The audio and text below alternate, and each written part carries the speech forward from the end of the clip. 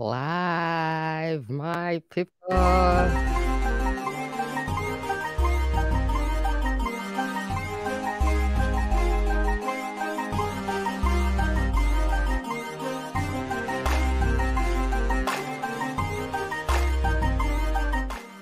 My people, live, live, live, live. You and I talk show, my people. Where you at? Where you at? Put in the comments that you're here, my people. Let me know.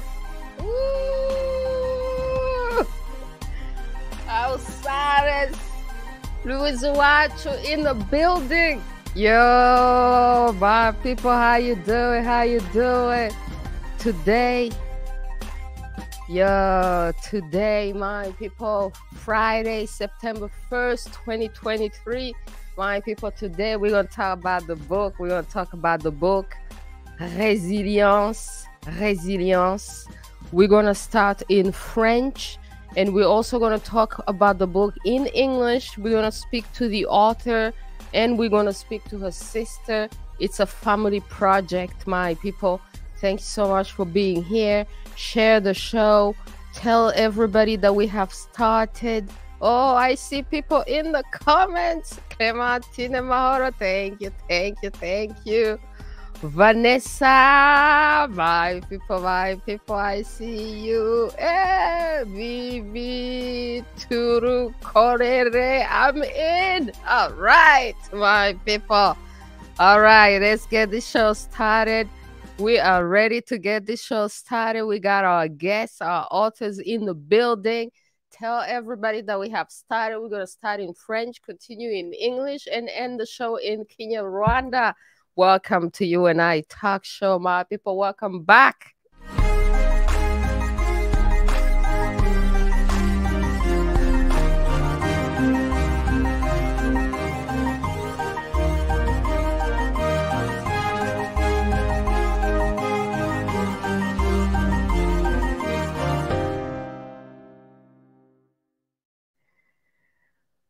Omowale, Omowale, Gosu, I see you. Merci, merci, merci. Greetings, greetings. Peace, peace, peace, my brother. Merci d'être là. Alors, nous allons amener euh, en premier Alice Ntsabimana, qui est l'auteur de ce livre euh, Résilience. Euh, Alice Ntsabimana, merci d'avoir écrit ce livre que j'ai lu de couverture en couverture et que j'ai vraiment apprécié et que pour moi, oh là là, pour moi, c'est monumental. Je pense que vraiment, je vous ai envoyé un message là-dessus parce que ça m'a réveillé, ça m'a conscientisé. Euh, parce que moi, dans ma tête, j'étais là, ah, ça là, vraiment, c'est les enfants du côté du pouvoir. Mais est-ce que même ils ont vécu quoi que ce soit? Est-ce que même ils ont vécu des choses? je, vraiment, je me disais, je me suis vraiment trouvé, je me dis, ah, je vais même peut-être même te demander pardon parce que vraiment, la compassion, là, c'était vraiment au niveau de zéro parce que je me disais que, nah, les gens, là, ils n'ont rien vécu, ils n'ont rien vécu, man. Donc, euh, en lisant vraiment votre livre, j'ai dit, wow, wow, wow, wow, wow, wow. Euh, Ouais, c'est une façon vraiment de cultiver la, la compassion. Je pense que c'est vraiment important pour euh, les lecteurs, euh, surtout ceux qui pensaient comme moi que ah, ça, c'est les gens du pouvoir, ils n'ont rien vécu. Euh, s'ils osent lire votre livre, ils vont avoir de la compassion aussi et trouver que vous faites partie du peuple qui a vécu et survécu des choses et que vraiment euh, votre côté de l'histoire aussi euh, mérite d'être euh, entendu, mérite d'être entendu parce qu'il y a beaucoup de leçons de vie dedans et c'est ça qu'on va aborder aujourd'hui. Donc, votre père, je suis en train de lire sur la, couverture et puis vous avez une magnifique photo de famille derrière la couverture et puis il y a votre sœur aussi, Yvonne, qui va nous rejoindre tout à l'heure. Et euh, votre père était euh, connu au Rwanda, très connu et très aimé d'ailleurs. Et il était le général-major Deogracias Nsabimana, qui était surnommé Castar. et il était le chef d'état-major des forces armées rwandaises. et puis, il fait partie des gens qui ont été assassinés euh, qui ont trouvé la mort le 6 avril 1994. Euh, et ça, c'est l'attentat qui a donc déclenché euh, un génocide contre les Tutsis au Rwanda en 1994.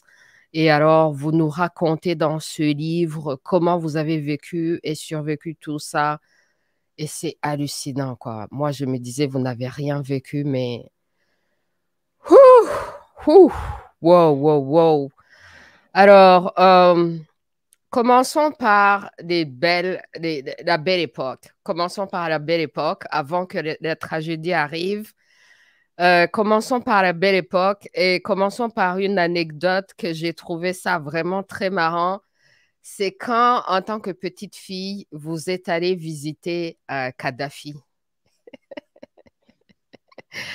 Raconte-nous ça un peu. Et puis, donc, toi, tu es la fille du général, tu ne sais absolument pas ce qui se passe. Et puis un jour, ton père te dit, allons visiter un homme. Et puis plus tard, tu te rends compte que c'est Kadhafi. Raconte-nous un peu comment ça s'est passé. Mhm. Mais euh, tout d'abord, euh, bonsoir Louise et bonsoir à tous les téléspectateurs qui nous suivent euh, au Canada, Murguanda, les amis, la famille. Donc bonsoir à tout le monde. Merci beaucoup pour l'invitation, donc pour me permettre de parler de mon livre. Qui est, comme tu l'as dit, Louise, une, histoire familiale. par rapport à cette anecdote dont tu fais référence, justement, il faut dire qu'à l'époque, je, n'étais qu'une petite fille. Je pense que j'avais peut-être huit ans. Donc, on habitait en Libye où euh, papa était attaché militaire à l'ambassade euh, euh, donc pour le Rwanda à, Tripoli. Et ce jour-là, je pense que maman était en déplacement. Et pendant l'année, normalement, nous habitions soit avec ma tante Agnès ou la, la, nièce de mon papa. Et ce jour-là, il n'y avait personne. Donc, j'étais obligée de l'accompagner. Il m'avait dit, mets ta petite robe. avec lui, c'était simple, une robe bleue avec des chaussettes, des petites chaussettes blanches, des ballerines. Donc, vraiment, je m'en souviens comme si c'était hier parce qu'il m'avait briefé. Il m'avait dit, bon, déjà à la maison, avec un père militaire, euh, Louise, je, dois te dire que papa était très gentil, très souple, mais il ne devait pas répéter deux fois les choses. On marchait à l'ordre. Donc, c'était robe bleue, chaussettes blanches et petite ballerine. On va aller voir un hôte très important et la consigne que tous les parents euh, rwandais, africains, je pense, euh, qui donnent à leurs enfants Rwanda, c'était Ugomba kwitonda isoni. Donc, ça veut dire ne me fais pas honte. On arrive, tu ne demandes rien. Tu attends qu'on te propose à boire, si on te propose. Si on ne te propose pas, tu restes tranquille. Et donc, on est entré dans une très, très grande demeure. Et euh, donc, moi, je, ne savais pas, hein. j'étais, un enfant. Et euh, on a, je crois qu'on a, on a roulé euh, quelques minutes pour arriver à la résidence. je me souviens très très bien des fauteuils qui étaient très soyeux, une dame qui nous a servi le thé à la, à la marocaine, avec des gâteaux, mais là, j'avais même pas osé toucher. Et puis, quelques minutes après, il y a un monsieur, euh, on nous a fait entrer dans une autre pièce où papa euh, s'est incliné et a fait un signe euh, de respect militaire pour saluer. et tout ce que je me souviens, c'est qu'il avait dit que c'était un colonel, colonel Kadhafi. Et donc, c'est évidemment plus tard, en étant plus grande, que j'ai compris que c'était le colonel Muammar Kadhafi. Voilà. Wow, en tout cas, en tout cas, c'est euh, c'est intéressant comme euh, anecdote. Est-ce que alors, est-ce que toi tu as salué Kadhafi? Est-ce qu'il t'a dit quoi que ce soit? Euh, ou bien c'était vraiment euh, cérémonial? Honnêtement, je, ne me souviens pas. La seule chose que je, me, je me souviens, c'est que c'est qu'après qu'ils soient entrés, que j'ai pu toucher au petit gâteau euh, qui était sur le plateau. Donc, euh, il a peut-être dû dire bonjour mademoiselle, mais je, me, ne me souviens pas. Je me souviens juste des, petits gâteaux qui étaient très bons. Après ça, la, conversation qui n'a pas duré longtemps, je, je, crois. Et puis, on est reparti. je, je ne pourrais même pas dire quel était le contenu, euh, s'il parlait français ou, anglais, ça je ne me souviens vraiment pas. Mmh, waouh, oh là là, la belle époque quand on est enfant et quand on, ne sait rien, qu'on n'a rien compris. Exactement. Ouais, et, puis euh, un jour alors vient euh, le réveil brutal, le réveil brutal, à savoir l'événement du du, euh, du 6 avril euh, que vous avez appris euh, dans la nuit ou le matin du 7 avril. Et puis, en lisant votre livre, alors j'ai lu comment votre père, qui était lui donc un général-major de l'armée, est parti à la dernière minute, à la toute dernière minute. il ne devait même pas faire partie de, de la mission en soi. Euh, mais à la dernière minute, il a été convoqué pour accompagner le président. Et donc, il est allé dans, dans la même avion. Et puis, euh, alors, vous racontez dans le livre comment euh, il avait frappé à votre porte pour vous dire qu'il partait. Et puis, que... Racontez-nous par rapport à ça. Est-ce que vous avez des regrets par rapport à ça euh, Et, qu'est-ce que vous en pensez là? Euh, Qu'est-ce que vous pouvez dire là-dessus?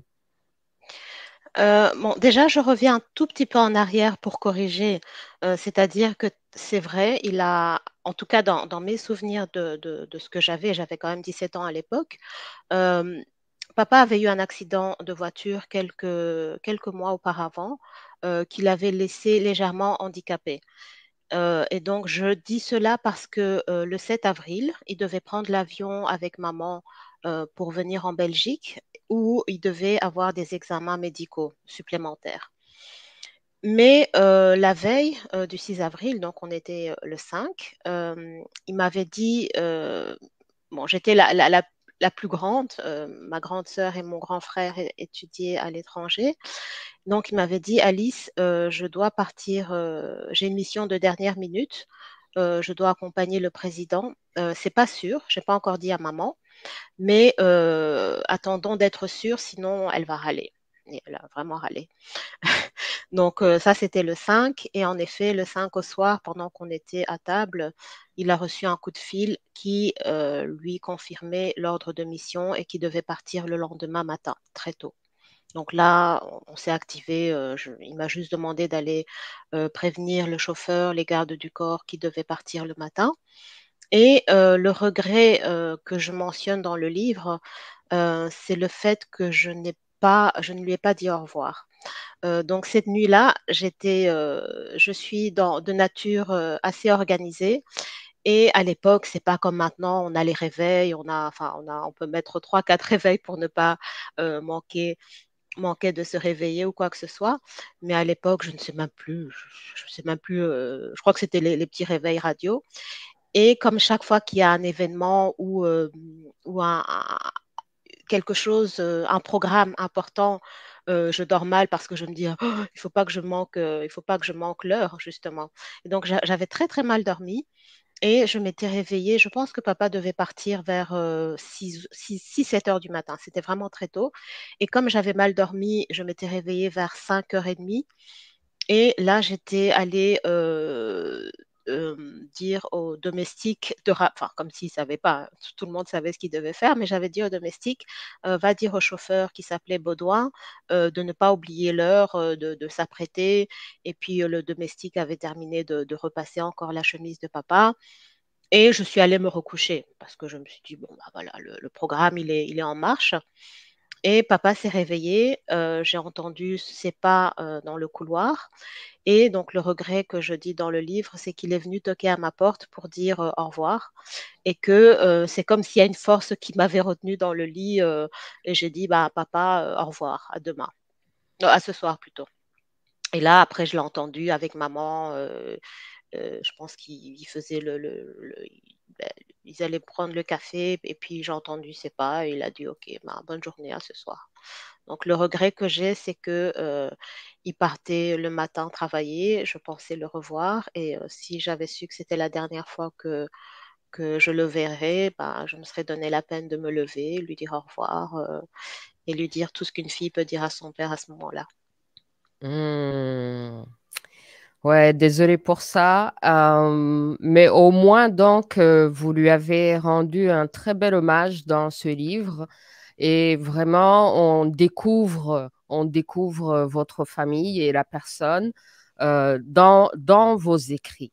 Alors, une des choses qui m'a beaucoup touchée, interpellée dans, dans, le livre, par rapport donc à la personne de votre père, c'est le fait qu'il était très, très dérangé euh, et qu'il vous a dit que le plus dur quand il était militaire et quand il allait à la guerre, c'était de se retrouver en face des enfants soldats.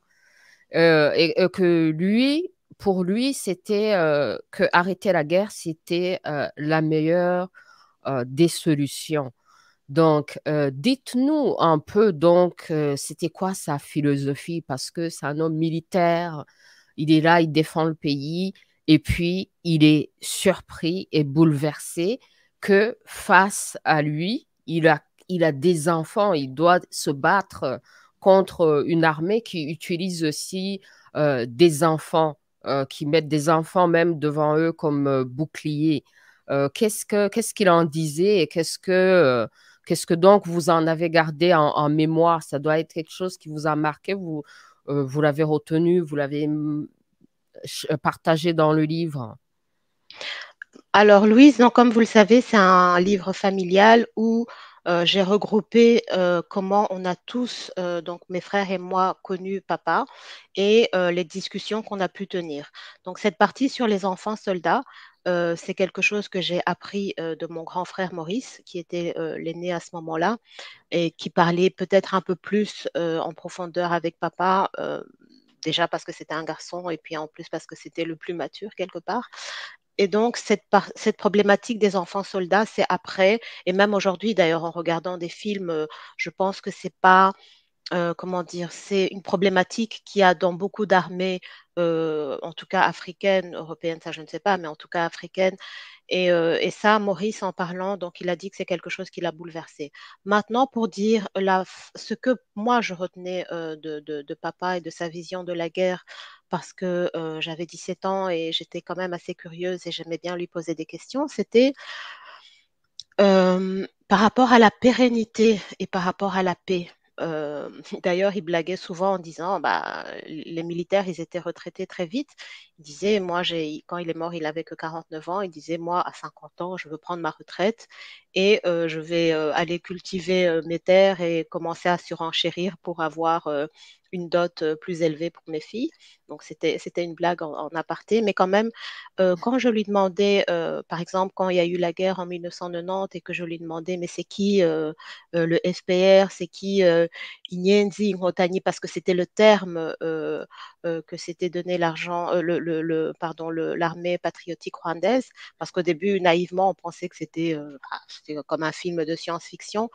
Mais à la fin, surtout quand il parlait du processus de paix euh, qui était euh, engagé entre l'armée rwandaise, entre le gouvernement rwandais et euh, le Front patriotique rwandais, je me souviens qu'il disait toujours que la paix coûte moins cher que la guerre parce que dans la guerre, il n'y a, pas de, gagnant, tout le monde est perdant. Et surtout, quelque chose qui me vient en mémoire, et c'est aussi quand je lui posais la différence entre les Hutus et les Tutsis, il disait surtout qu'on se bat contre nos frères. Donc, nous sommes frères. Les Rwandais, le Rwanda, c'est les Hutus, les Tutsis, les Tois. On est habité à vivre, on est amené à vivre ensemble, on vivra ensemble. Et, et donc, ce que j'ai retenu, c'est vraiment la question du coût de la guerre par rapport à la paix. Hmm.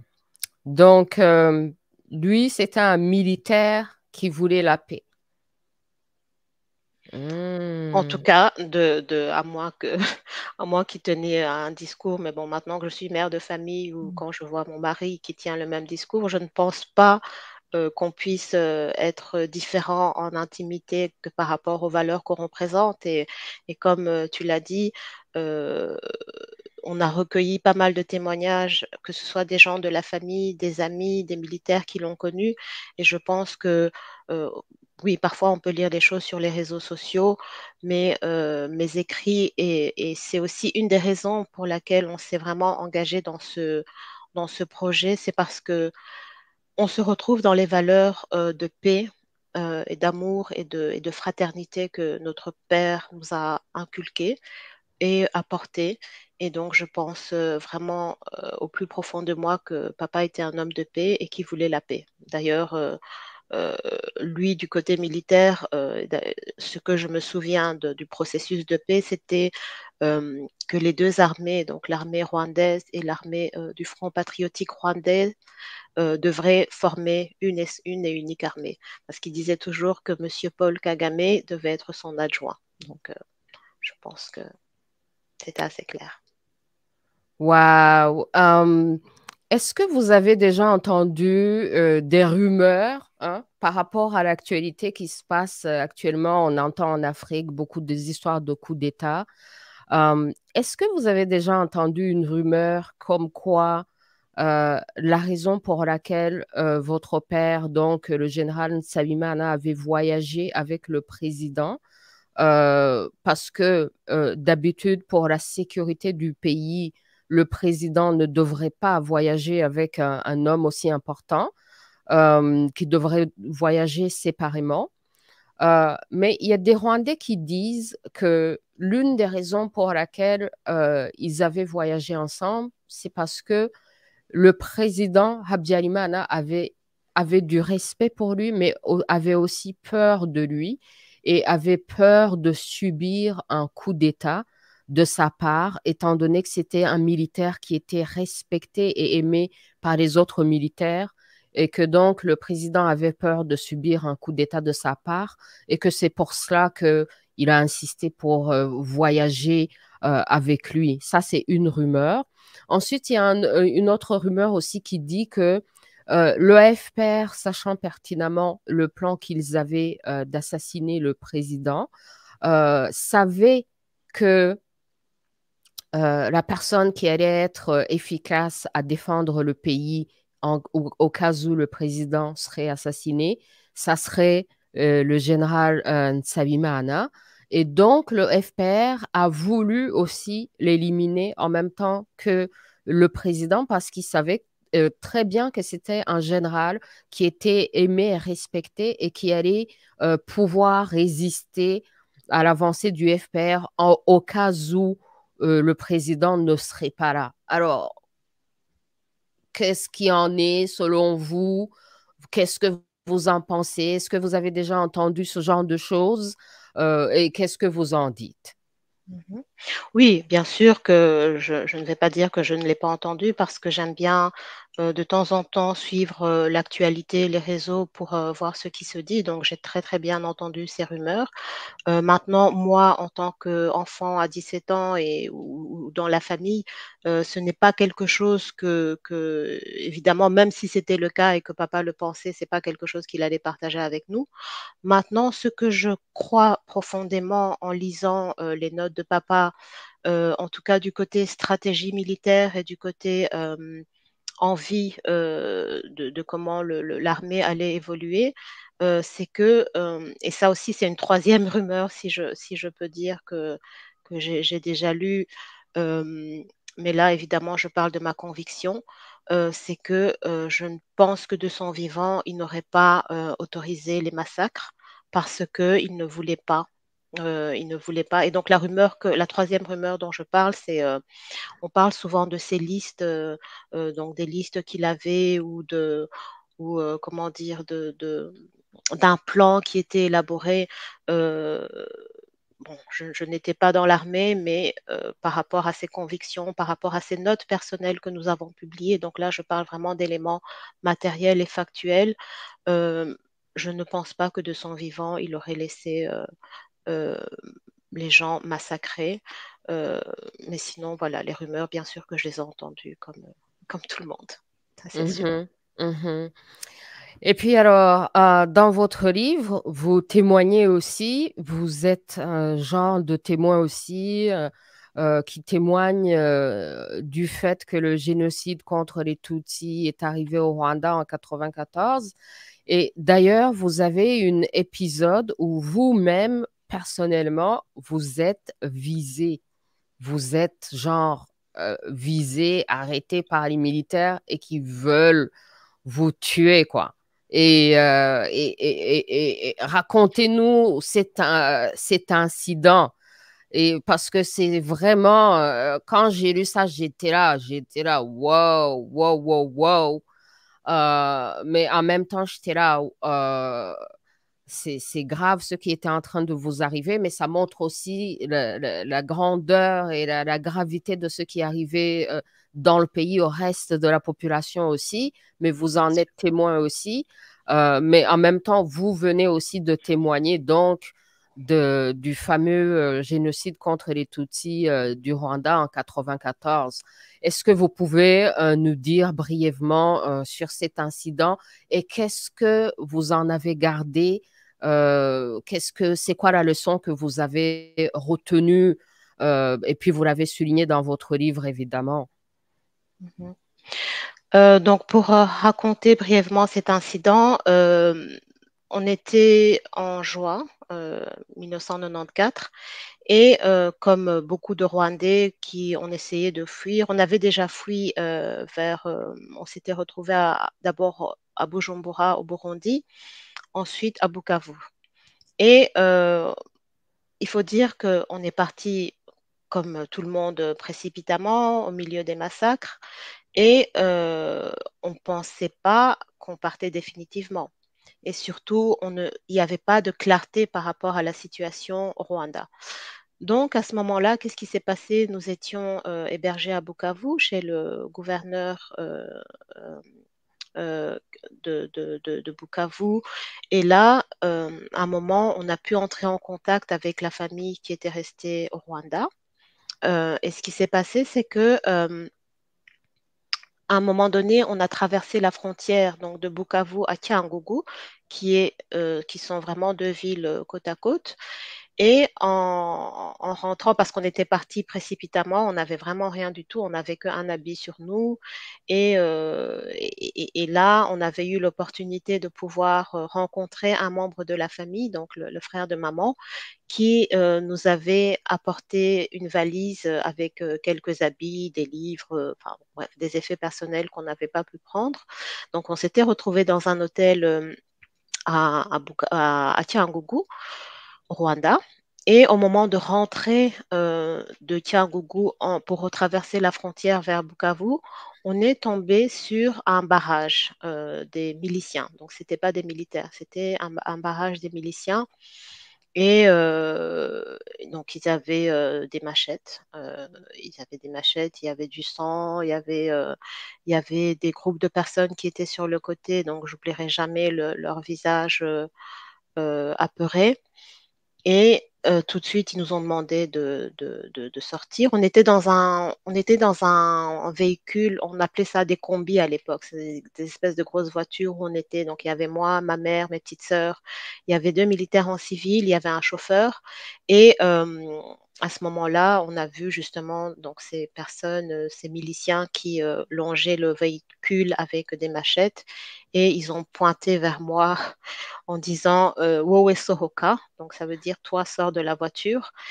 Et Louise, je peux vous dire que, et c'est ce que je mets dans le livre, c'est la dernière fois de ma vie où j'ai eu une peur qui m'a tétanisée. Vraiment, j'ai cru que j'allais faire pipi sur moi. c'est vraiment viscéral. Donc, j'ai eu très, très peur. Et maman, non, non, elle va pas sortir. Maman, euh, comme toutes les mamans rwandaises, euh, elle avait un peu d'argent dans son soutien-gorge. Elle a, elle a, sorti cet argent pour donner, donc ça distribuait. Et vous ne pouvez pas le savoir parce qu'on était en, vraiment en plein délit de, de, faciès hein, au Rwanda, au, au Mukara. Donc tu as, tu as, tu as le, comment on appelle, la gencive noire, tu es Tutsi, tu as un peu clair, tu es Tutsi. Tu as... Donc on était vraiment en plein délit de faciès. On était aussi en face de personnes qu'on ne pouvait pas raisonner. Et ce qui m'a vraiment sauvée ce jour-là, c'est qu'on avait des cartes d'enfants des officiers. J'ai publié la photo dans le livre. qu'on a pu distribuer, amener vers l'avant parce que le chauffeur avait dit non, non, ça c'est la fille de Castar. Oh non, non, Castar, c'est pas, c'est pas la fille de Castar. Castar n'a pas d'enfant tout petit. Sortez là, sortez là. Puis bon, bref, je pense que je suis sortie de mon corps. Maman a donné les billets. Et ils nous ont donné l'ordre de partir très vite. Et ce que je n'oublierai pas, il y a deux choses que je n'oublierai pas. C'est la peur qui m'avait tétanisée ce jour-là et que depuis là, je pense que je ne crains que Dieu. Et, et le visage apeuré de ces personnes et surtout le fait qu'on ne pouvait rien pour eux et que j'imagine le sort qui leur était réservé malheureusement après. Et la leçon, Louis, c'est que tout ça pourquoi finalement? C'est des Rwandais qui tuaient des Rwandais et, euh, pourquoi? Et je me, demande encore aujourd'hui euh, pourquoi est-ce qu'il y a eu cette euh, déshumanisation entre, frères rwandais? Pourquoi? Mmh mmh Alors, merci vraiment d'avoir partagé votre histoire. Alors, vous, personnellement, vous faites quoi? Et vous voulez, euh, arriver à quoi en, écrivant euh, ce livre, en partageant euh, cette histoire? Alors, en partageant cette histoire, je me suis déjà retrouvée dans quelques situations, honnêtement, où on racontait mon histoire alors que j'étais là. Et on racontait une fausse histoire. Et j'avais le choix. Donc, soit je me tais, soit je, raconte ma propre histoire. raconter cette histoire, c'est c'est quelque part exorciser les blessures du passé. C'est rendre hommage à, à, papa, à tous les Rwandais qui ont, qui ont perdu des êtres chers. C'est aussi un devoir de mémoire pour les enfants parce que l'histoire du Rwanda, elle a été lourde, euh, donc depuis des années, hein, ça n'a pas commencé qu'en 94, et, mais ça fait partie de, notre histoire, et euh, c'est un héritage que je voulais porter euh, pour, pour les futures générations, et aussi faire connaître, comme j'ai dit, papa tel que nous l'avons connu. Euh, c'était, euh, c'est vrai que en racontant cette histoire, euh, il y a cette dimension privée qui nous échappe, mais je pense que je me devais de raconter cette histoire, donc mes frères et sœurs et moi. Et surtout, c'est vraiment un, un, moyen de reconstruction qui m'a permis de faire la paix.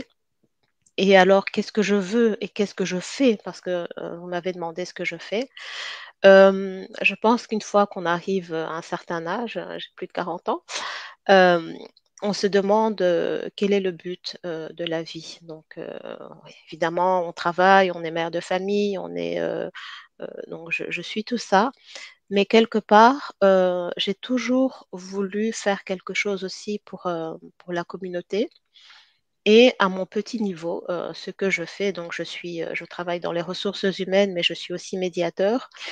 Et ce que j'ai voulu faire, euh, et je sais que, voilà, moi je suis médiateur, il y a des politiciens, il y a, enfin, il y a vraiment de tout hein, dans, les, dans les sociétés.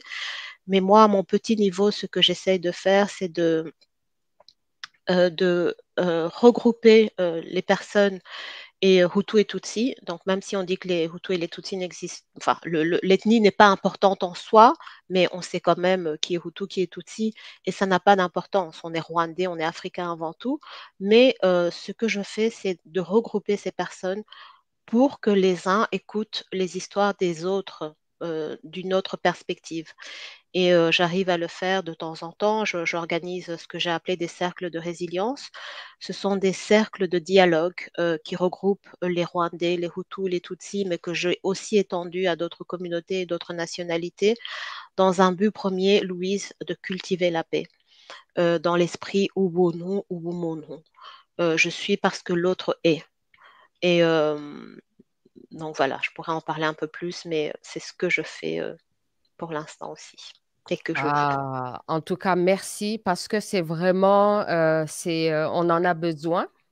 On en a besoin euh, parce que les sociétés sont polarisées. les Noirs, les Blancs, les Hutus, les Tutsis, les riches, les pauvres. donc, quand on a une personne qui veut bien regrouper tout le monde pour essayer d'écouter leurs histoires, c'est vraiment bien. Et puis, euh, ce livre, ça aide, ça aide énormément. Euh, j'encourage les gens à l'acheter.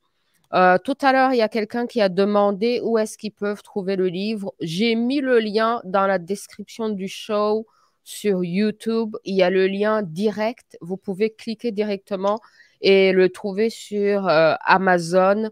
Euh, en tout cas, moi, ça m'a vraiment beaucoup aidé euh, quand tu dis que tu veux enseigner le, euh, cette culture d'humanité et de générosité. C'est ça le bono et le beau monde. L'humanité et la générosité et d'essayer aussi de voir les gens qui ne sont pas nécessairement de la même histoire, de la même lignée que nous, d'essayer vraiment de, de, connaître aussi leurs histoires et d'essayer aussi de les comprendre. Donc, euh, on rappelle aux gens que vous avez un événement au Canada. Vous avez un événement, euh, c'est le 16 septembre, samedi le 16 septembre, euh, à Montréal. Est-ce que vous pouvez dire aux gens un peu sur cet événement? Et puis comme ça, après, on va passer en anglais parce que vous avez lancé aussi la version anglaise de, de ce livre. Et vous avez un événement pour donc le lancement de la version anglaise de, de ce livre qui s'appelle euh, After All Was Lost. Et puis donc, euh, dans la partie anglaise, on va avoir votre sœur Yvonne Samimana qui va parler de la version anglaise. Euh, mais pour, terminer la version, la partie française, est-ce que vous pouvez nous parler du titre en anglais? pourquoi vous avez choisi ce titre? Euh, et, aussi le, titre en français que j'aime bien, Résilience. Ça, c'est vraiment quelque chose dont beaucoup de gens ont besoin parce que on traverse des choses et des choses et des choses et il nous faut euh, la résilience. Et puis, j'aimerais aussi que vous puissiez euh, dire un mot par rapport à votre maman. Vous avez dédié le livre à votre maman, une maman magnifique euh, qui vous a donc euh, élevé et soutenu euh, dans tout, qui s'est retrouvé, qui a perdu son mari si jeune. Je n'arrive même pas à imaginer le cauchemar. Elle devait partir avec son mari. et puis, au lieu qu'il parte pour un petit break, il est parti pour ne plus, ne plus revenir. Donc, c'est hallucinant ce que votre maman euh, a dû euh, traverser, survivre et vous faire survivre tous euh, et arriver à ce point. Donc, pour terminer la partie en français, on parle de tout ça puis on bouge en anglais. Merci. Mm-hmm. Alors, en commençant par maman, je suis contente parce que j'allais terminer justement par elle. Voilà, maman est une femme euh, forte, extraordinaire, exceptionnelle, et elle nous a porté un à un. Euh, elle a eu la grâce d'avoir 16 petits-enfants, donc euh, je pense qu'elle est, elle est bénie. Et que dire, maman, comme toutes les mamans rwandaises, africaines, euh, est une maman déjà du temps de papa euh, qui avait, euh, j'ai envie de dire le, le, mauvais rôle là, parce que donc quand un enfant est mal élevé, c'est l'enfant de la mère, mais toutes les grâces sont récoltées grâce au papa.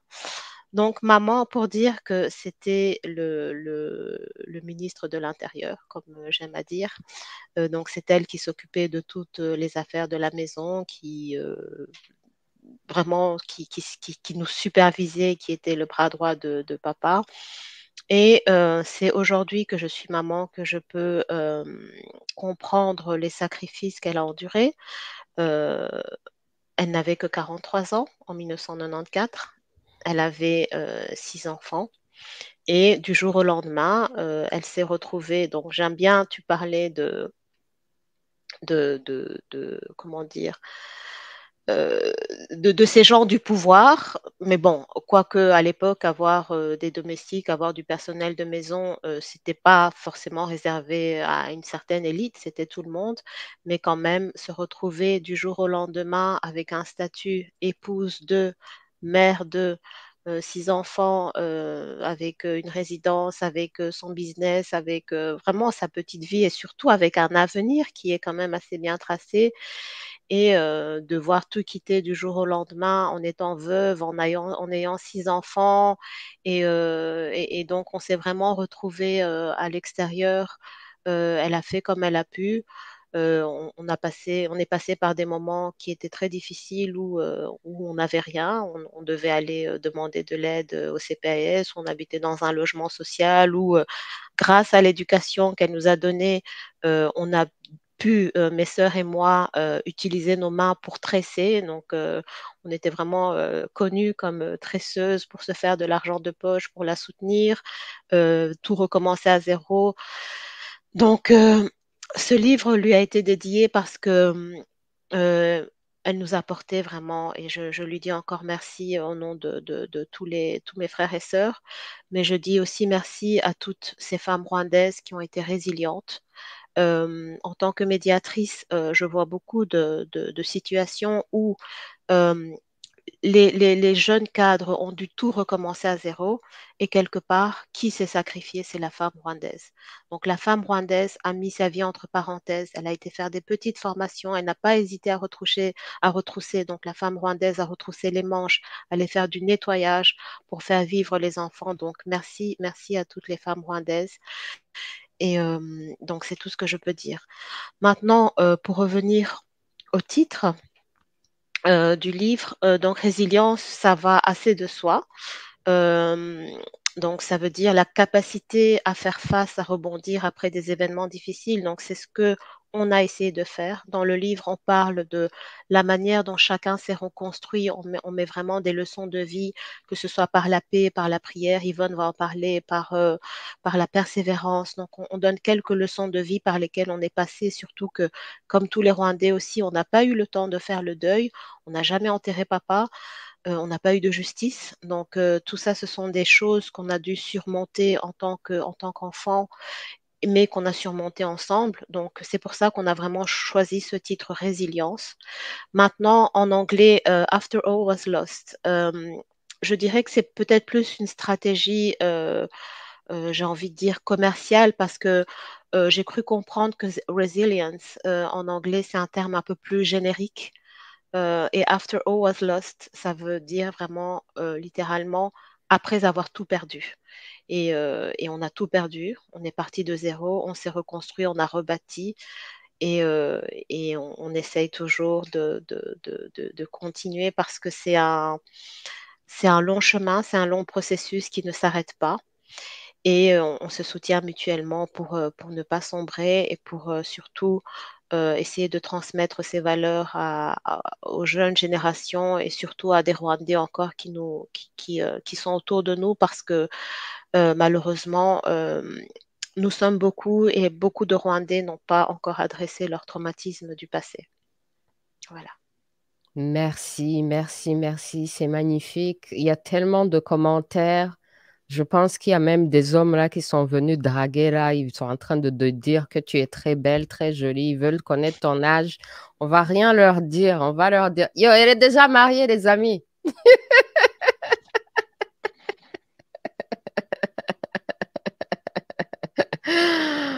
Courage à ta maman, Brigitte Oassé, qui dit euh, Premium Vivere Deinde Philosophare qui dit Merci Alice Sabimana, ton père, ton père est un homme charismatique, un homme de principe, un homme déterminé. Il était l'un des officiers qui avait compris des tromperies de Lingotani, malheureusement.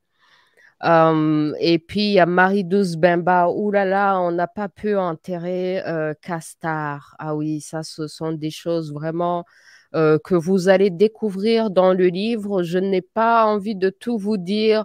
Euh, ce qui est dans le, livre, vous allez tout lire et vous allez tout découvrir.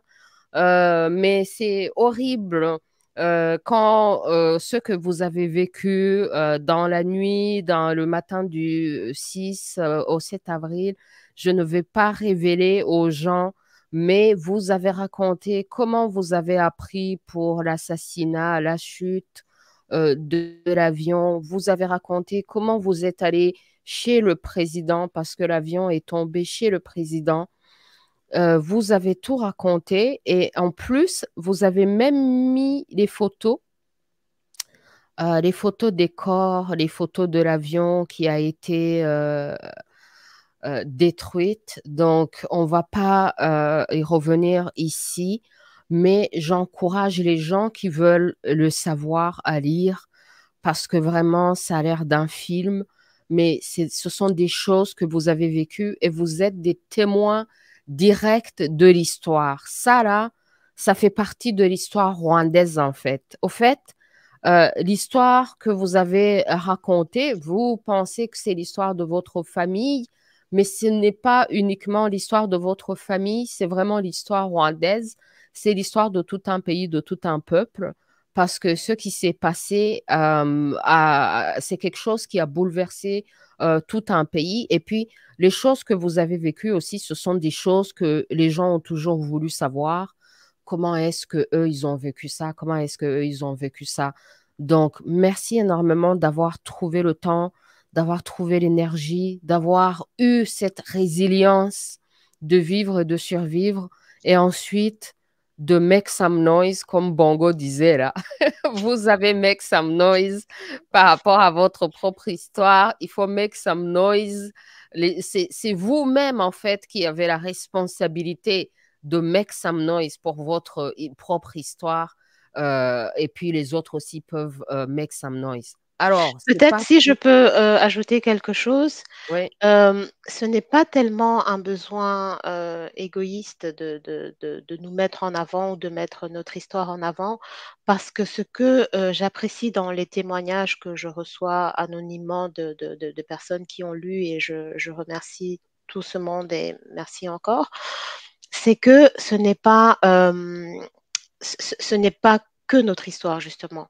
Euh, les Rwandais euh, se reconnaissent dedans et euh, on a toujours été élevé et vécu dans, dans cette certitude que le, sang ne, ne, se superpose pas. donc nous sommes tous Rwandais, nous avons été dans la même galère. Euh, malheureusement, il y a des personnes qui ont, qui ont plus souffert que d'autres, hein, évidemment, qui ont, par exemple, des personnes qui ont perdu tout, leur, euh, toute leur famille, qui ont des familles entières décimées. Mais euh, c'est notre histoire et c'est vraiment une histoire commune. et, j'encourage aussi vraiment toutes les, toutes les personnes, tous les Rwandais, Rwandaises qui veulent raconter leur histoire. C'est vraiment un magnifique travail d'exorciser les douleurs et surtout de laisser un héritage même mauvais ou, quoi que ce soit aux générations suivantes. Oui, ouais, il faut, euh, c'est vraiment euh, de la documentation pour les générations suivantes. Et, et, puis, ça assure aussi que vous, vous êtes capable de raconter votre histoire dans votre propre voix, que personne d'autre ne vienne raconter votre propre histoire. Même si vous partez, vous aurez déjà raconté votre euh, côté de l'histoire. Donc, c'est vraiment, c'est ça que je trouve monumental de votre part, c'est que vous racontez votre propre histoire et ça fait partie de l'histoire de tout un pays. Donc, pour les gens, pour les historiens qui vont vouloir fouiller, vous aurez laissé votre propre voix, votre propre version on the record, you know. Alors, merci, merci énormément. Alors, on va passer en anglais et on va amener votre sœur qui va nous parler alors du euh, côté euh, anglais de, de la chose. Est-ce qu'il y a quelque chose que vous n'avez pas dit que vous voulez dire euh, avant qu'on passe, qu'on clôture la partie français? Il y a tout à dire, mais j'espère que les gens, euh, après cela, achèteront le livre pour euh, en découvrir plus. Et euh, en aparté, je veux bien laisser les coordonnées, donc le mail, s'ils veulent nous écrire ou nous partager leur ressenti, qui sera évidemment bienvenu et répondu. Merci beaucoup. All right. All right, la famille. Et puis, restez là. Donc, on continue en anglais et en Kenya-Rwanda. Restez là, la famille. Merci, merci. Oh. All right, my people, we're moving into English, my people. Resilience is the title in French. After all was lost is the title in English. All right, get the book, get the book.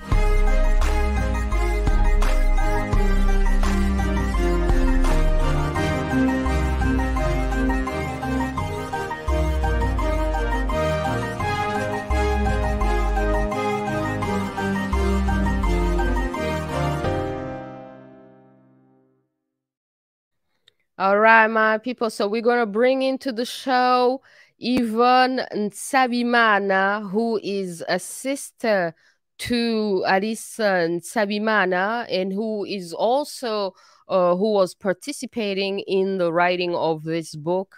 Uh, if you can, uh, yes, thank you. Welcome to the show, Yvonne Sabimana.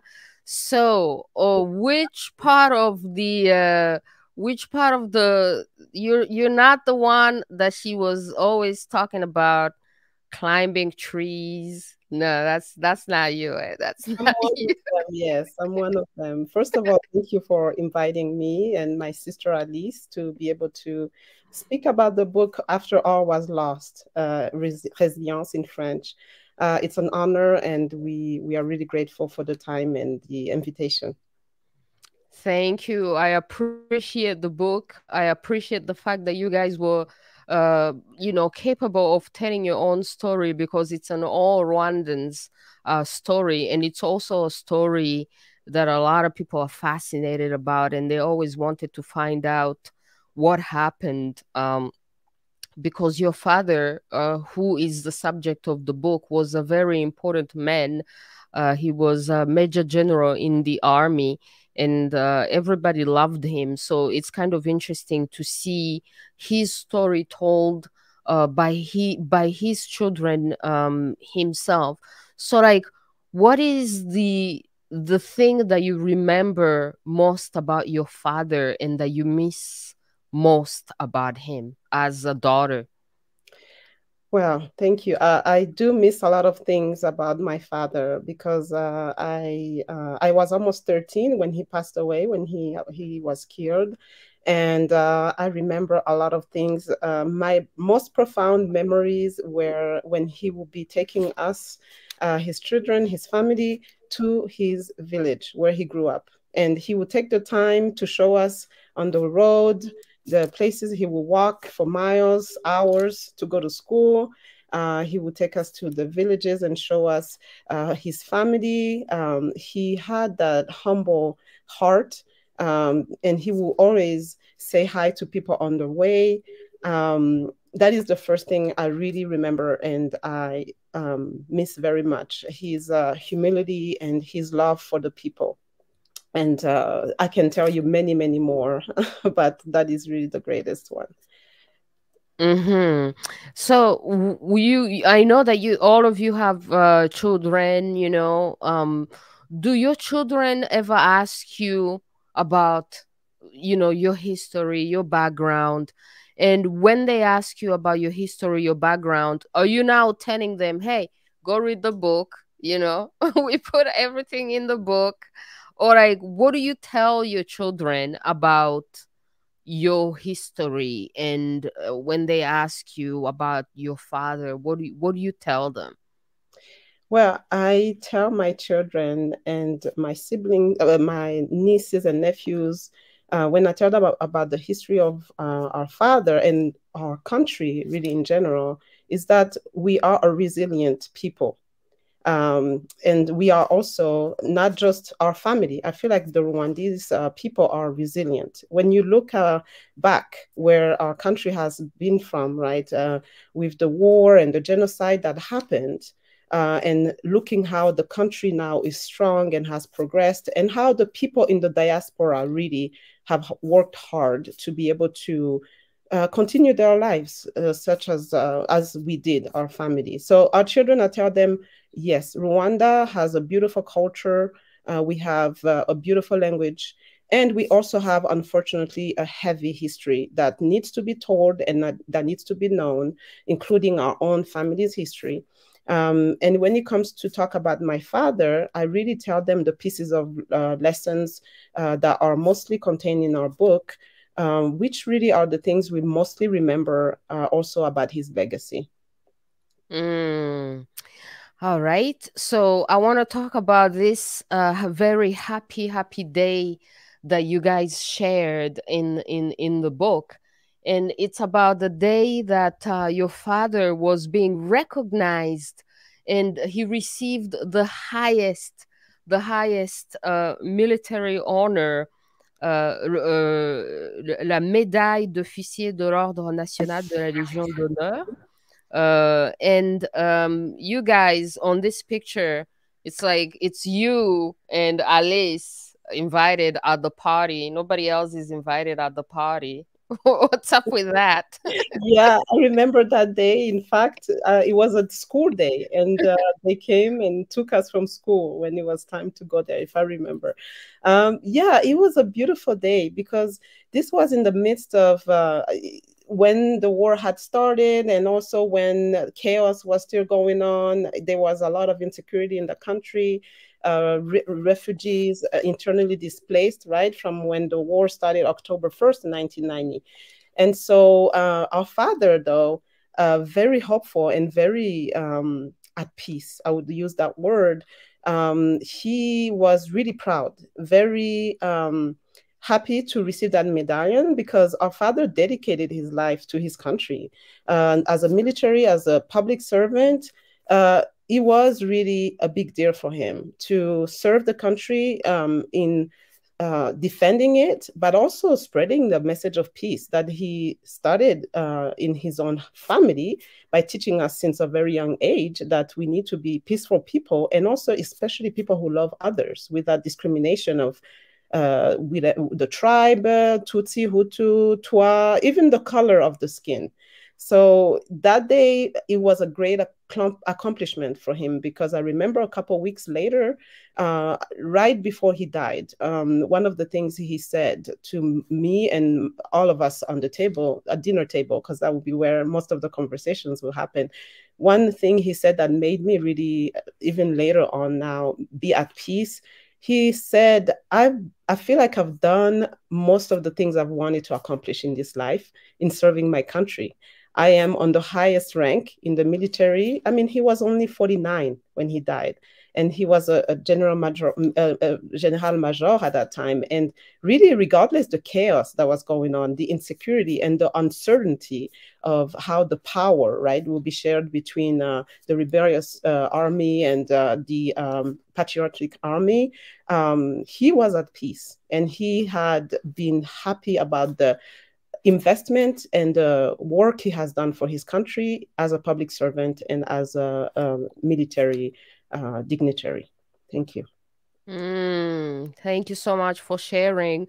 And uh, another thing that's very interesting that you shared um, in the book is how he was actually he believed in the peace talks he believed in the negotiations and everything that they were doing in the peace talks and then he is talking and even joking about how he's going to be working with uh, kagame did he ever you know like talk to you guys about that and it, you can actually see that he's he is not a person who's going to uh, negotiations, peace talks with a backup plan. You know, he's a person who is believing in these negotiations. And then he's talking about how he's going to be working with Kagame. And then he even has like communication between from Kagame to your mother or something like that. Mm-hmm. Yeah, I remember clearly that day. Um, again, dinner table. uh, he he said how that day, in fact, uh, he talked about it. He he had had a meeting with uh, Kagame himself and their representatives uh, of the uh, RPF uh, with the patriot with the army, right? That he was head of, um, and he had told to us that they were ready to share the power as the uh, the treaties of peace was uh, basically mandate, mandating uh, the um, government of Rwanda to do that. So he was definitely prepared. And I remember asking him, "So, Dad, are you gonna be sitting face to face in your office? Are you gonna have two different offices in the same room?" I mean, myself, I was already visualizing that because I remember also at that time, I actually had a little desk uh, where I do my homework in dad's office in Kiyovu. And so that was really the vision that came into my mind as he was talking about that. Uh, really re- emphasizing that fa- our father was someone who believed in um, humanity. He believed in what we call Ubuntu, um, the the spirit of really accepting the other as you are. Yes, uh, the RPF was the enemy at that moment, but also since he studied the, the, the army school that really taught them about also the enemy can be also someone you can uh, somehow maybe stop the war with. You can negotiate with them. You can yeah, he believed in all those things. He showed us a lot of movies too when we were kids about uh, um, in history, uh, a lot of different armies that would fight, and then at the end there, there was peace. So for us, it was really as he was telling us uh, how they would be sharing the power.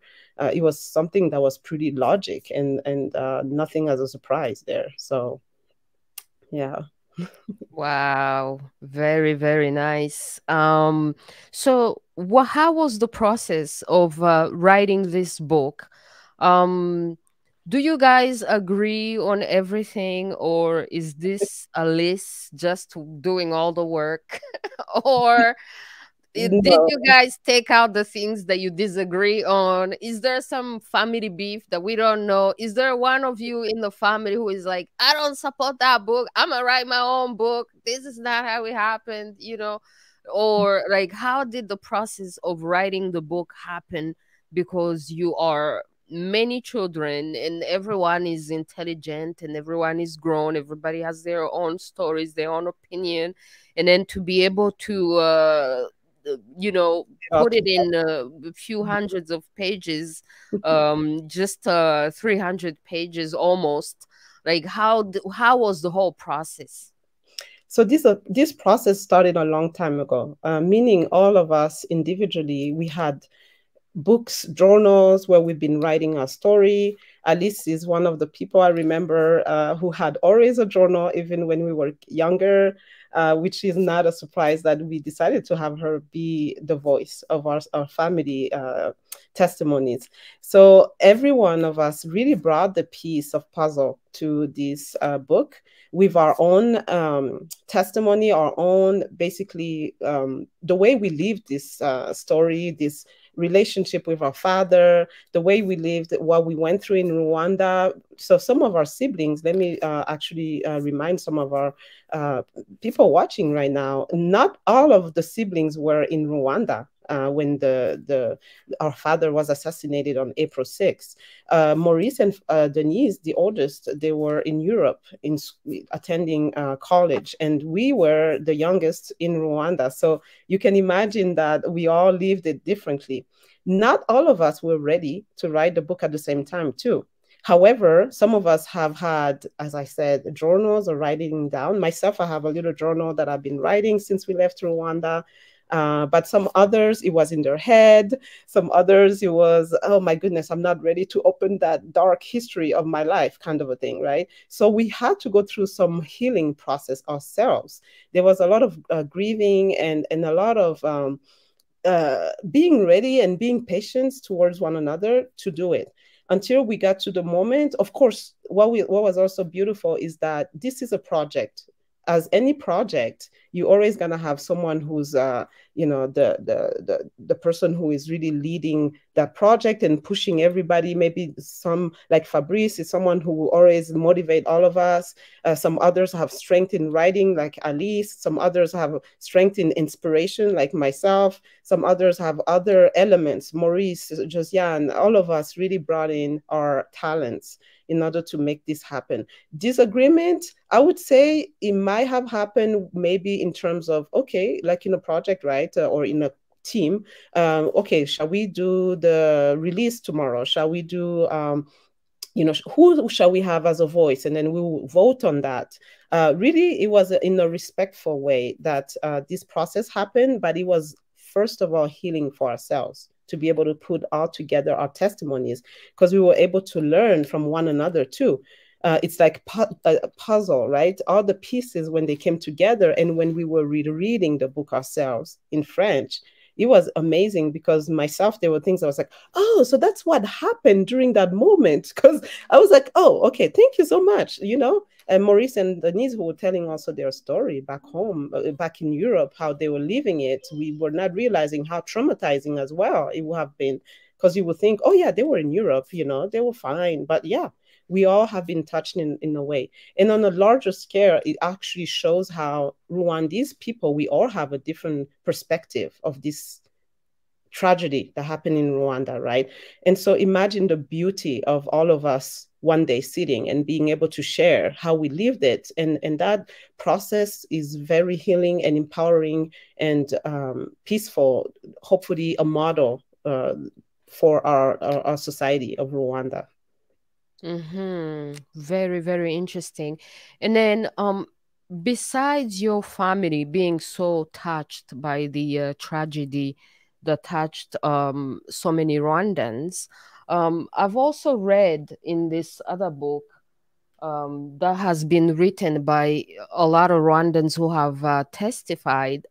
And um, I read um, uh, some stories. For example, the story of uh, Eric Maniriho, who talks about um, his tragedy and how uh, he was targeted and how he he, he uh, his family got killed and, and his grandmother and he's sort of related uh, to you guys and then i could see uh, the link not only did you guys live the tragedy that you lived but also in other testimonies, we see members of your family being targeted just uh, for being part of your family. How do you guys uh, feel about that? You know, uh, this idea that, you know, on top of having an important uh, father who was assassinated, but also like the greater family, the larger family is also targeted. And then other people who are not your direct immediate family are also targeted just because uh, of that. What, what do you say to that, and how do you feel about that? It's really um, interesting you bring that up because, uh, personally speaking, about the different stages I've been through. Um, when I heard the news when they were assassinated, so my bro- my dad's sisters, their family, a lot of people, right, related to my father who were assassinated um, around 1996, 1997, right? Um, at that moment, I was confused. I was very sad, ob- obviously. I was very, um, uh, I felt like it was really an, a, a country that, yes, we are moving forward, but also what is the point of killing human beings? Um, we already had lost a lot of people in 1994 in, in the genocide against the Tutsis. We already had lost a lot of people when the war started October 1st, uh, with the Hutus being assassinated. I mean, until when? That, that's the first question that I will ask. Uh, I ask myself then that I, I I'm, I'm still asking myself almost 30 years later. Uh, when, as humans, fellow Rwandese people, we are going to understand that blood is blood, that we all should be treated equally. So, yes, it still is a dark page of our family, and hopefully one day we'll be able to give them uh, mm-hmm. um, but it doesn't mean that we should stay also in that mentor state. And that's a message I'm putting out there for all my Rwandese fellow brothers and sisters. Um, we've been lucky, all of us, Tutsi, Hutu, Twa, we've been all lucky if we're still alive. Let's do something meaningful to build peace and bring hope to our future generations and it's up to us. So we can choose either to live in the past and always complaining and run, uh, crying about our, our deceased people. It's hard to to understand maybe what i'm trying to say uh, to people who are still in that dark moment of um, so there's a psychiatrist named Kubler-Ross who spoke about the five stages of grief and I feel like personally, everyone, these person should think about where are they on those uh, five steps.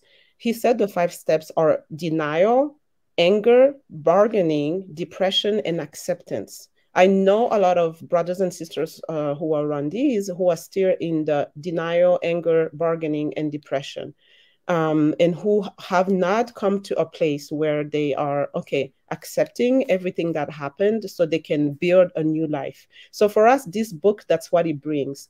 It shows how we as the children of someone who was a dignitary in a country right that he was killed and his family was killed. But are we gonna decide to stay in that denial and hatred and and and all those different dark uh, energies or are we willing to move forward and create a better future for ourselves and for our children? So that's what we are bringing in this book. That's the message we are bringing to our rwandese brothers and sisters but also to the hum- really people in the world who are going to tragedies. So it's a choice. It's a choice. And the one we chose is to accept and to look for a bright future with the best we can Mm, I like that. You know, this is like how they say, like, it's not so much what happens to you, it's also how you react to what happens to you and how you decide to move forward. Exactly. And this is uh, like this uh, title of yours in English is is uh, interesting because it says, "After all was lost, mm-hmm. then it kind of actually completes each other with resilience because people are like, okay, after all was lost, what happened? Then we needed resilience to keep living, to keep going on. So I kind of, I think that the title completes each other. The French and the English title, they kind of complete each other. Resilience is what we, you know, is what you have, what you did after all was lost it's that energy and that strength that kept us carry, that really helped us to keep moving and to keep going and to accept uh, that that dark pa- page of our history, yes, has happened, but we can do something better about it in the future. That doesn't mean we forget our family, we forget our father, we forget our aunties and uncles that we loved very much, and we remember them vividly in our mind because, as I told you, our father used to take us to the village almost every weekend um, and so, and I'm also, my philosophy can be maybe also very different from many people because I'm also a Christian and someone who believe in the life um, after death. And I believe in what we can do to make life better too for those people who deceased. So it's a philosophy. But uh, bavuga ngo mu rwanda ngo imana ngo yirirwaga ahandi igataha i rwanda turi abantu bemera kandi bizera yuko imana idukunda kandi ishobora kudufasha mu byo byose. So resilience kwihangana uh, as we say in kinyarwanda um, it's it's that strength that's going to help us overcome personally as individuals and also as a nation and also as the people in the world who go through tragedies Absolutely. Well, thank you so much for sharing and thank you so much for wanting to inspire everyone with your resilience. Let's remind people that you're going to have an event in Montreal on uh, Saturday, September 16th. So, are you going to be there, or who else is going to be there so that people can come and greet you? And then you're going to be selling books and signing books. And are you going to have both the English and the French version in Montreal? Yes, I will have both versions, uh, and also we delegated two of our siblings to go, which will be Alice and Maurice. Oh, because their names be rhyming, Alice and Maurice. and also because we all uh, have responsibilities and families and uh, businesses and different things going on in our lives that sometimes it's not as easy to just uh, make it happen so. But we believe in the capacity of carrying the message and really um, uh, yeah being there to represent all of us Absolutely. So, is there anything that you want to say that you haven't said in English before you before we move in uh, Kinyarwanda, so we can talk a little bit in Kinyarwanda, and we we're gonna bring Alice back in the show and talk just a little bit in Kinyarwanda as well. Is there something that you want to share with the audience that you haven't uh, shared in briefly uh, before we move into Kinyarwanda? Uh, really get the book get the book and get inspired. Um, this book is really with a motive to bring a message of love peace forgiveness and resilience for victims of war and other disasters in the world. And um, i would also like to thank our mother who has been our pillar uh, since our father passed and she's been there for us and she's been a great example for us. And uh, I would like to thank you as well, Louise, for inviting us. And we are looking for other opportunities, really, to share this message. Um, we are humans. We all have the same blood. I am because you are. I am because we are. That's really the core message, the core philosophy in this book of Ubuntu, of humanity, and acknowledging each person that they have a voice, they have uh, the right to exist and they have a purpose to contribute in this world. So thank you so much for having us. Thank you. Thank you for your contribution. All right, my people, we're gonna move into Kinyarwanda. Tugeze mu Kinyarwanda, mufite ibibazo, iki gitabo mwarakiguze, niba mutarakigura mugomba kukigura, my people. Resilience, after all was lost. And then um, cyanditswe na Alice Nsabimana acyandikira umuryango wa Nsabimana wose. My people stay tuned mu Kinyarwanda. Alice Nsabimana is still here and Yvonne Nsabimana is here. You can ask some questions. We're going to keep talking about resilience. And then we're going to find a word for resilience in Kinyarwanda as well. Ese wa mugani resilience mu Kinyarwanda ni ngwiki. Turi kumwe turi kumwe my people la famille Nsabimana thank you so much for writing and telling your own story making the noise. Eh, make some noise make some noise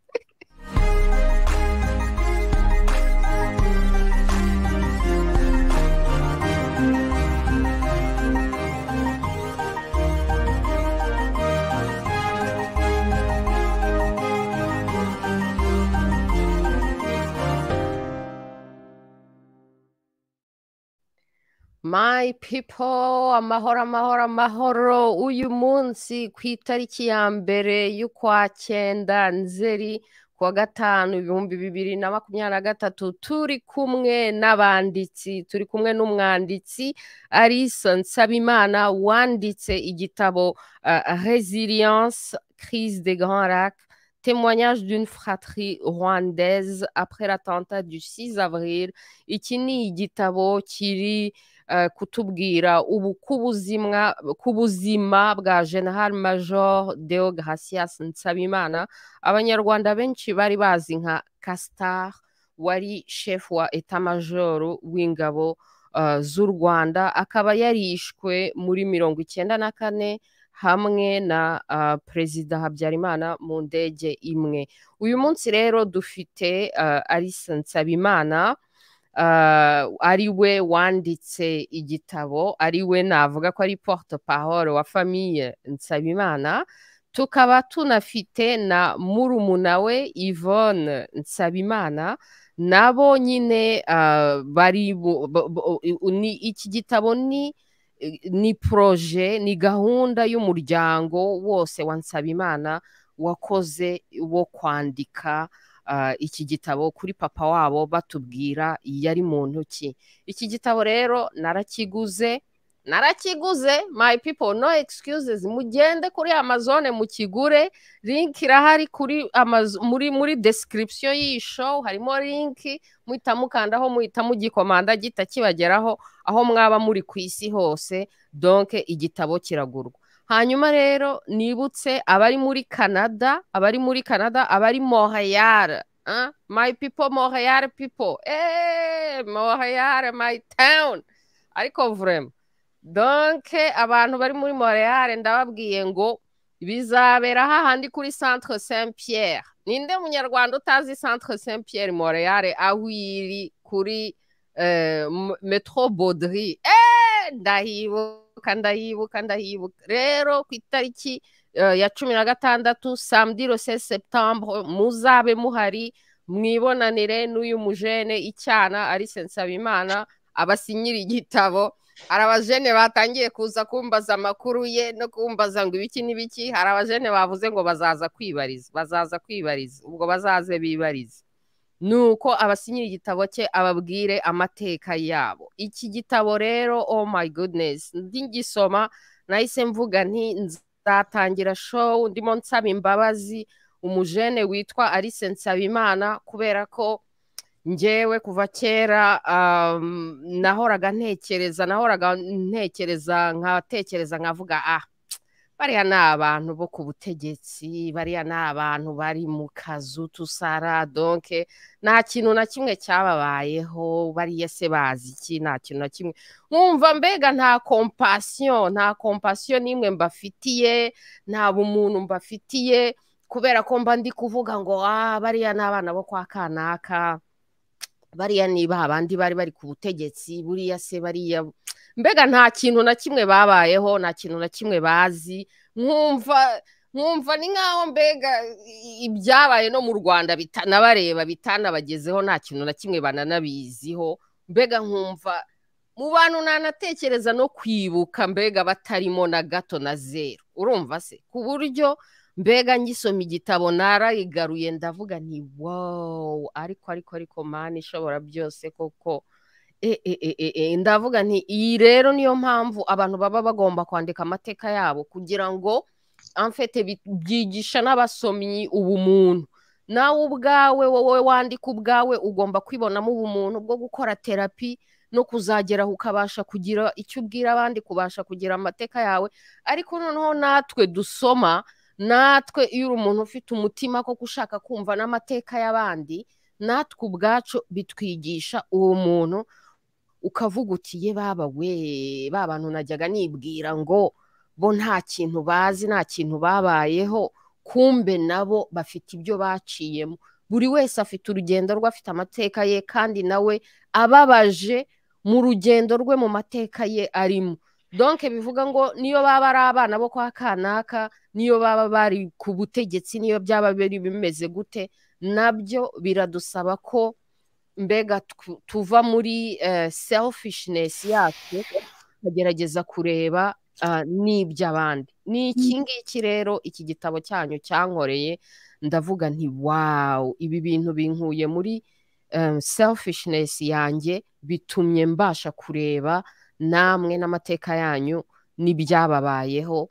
Rero ntangire mbasaba imbabazi ko vurema ntabakarikiraga na gato kandi ko numvaga mbega nta n'ikintu na kimwe mwigeze mubaho se imana umbabarire cyane.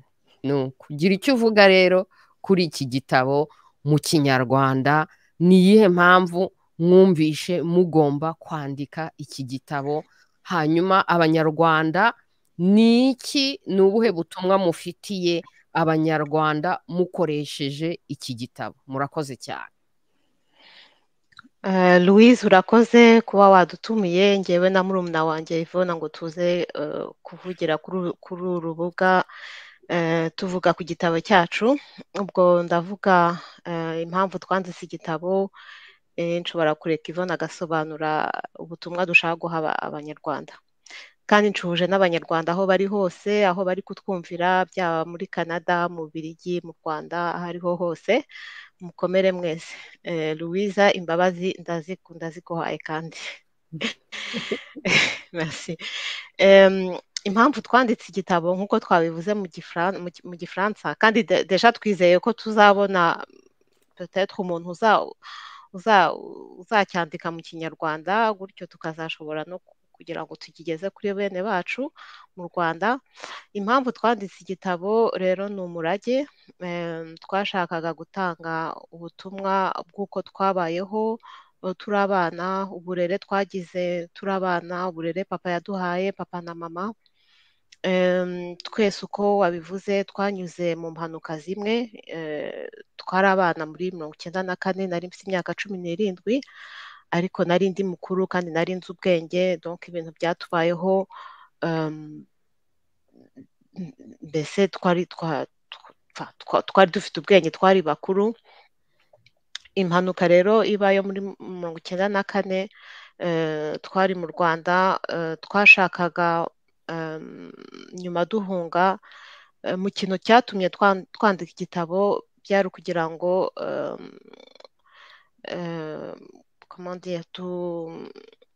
mbese ni ukwibuka ni devoir yo kwibuka abacu bapfuye devoir yo kugira ngo abana bacu batazi mu rwanda bazamenye histoire uko nabivugaga kare hari ahantu henshi nageraga nkumva abantu bari kuvuga histoire amateka yacu kandi mpicaye. Ndavuga ntese ndetse abantu bakomeze bavuge amateka rimwe na rimwe babeshya bavuga ibintu uko tutabibayeho cyangwa se twebwe twandike kugira ngo dushobore icyo kintu cya healing. Sinzi ukuntu bakivuga mu kinyarwanda. Gukira. Gukira. Dushobore gukira kubera ko ibintu twanyuzemo twese kuri abanyarwanda ntabwo byoroshye.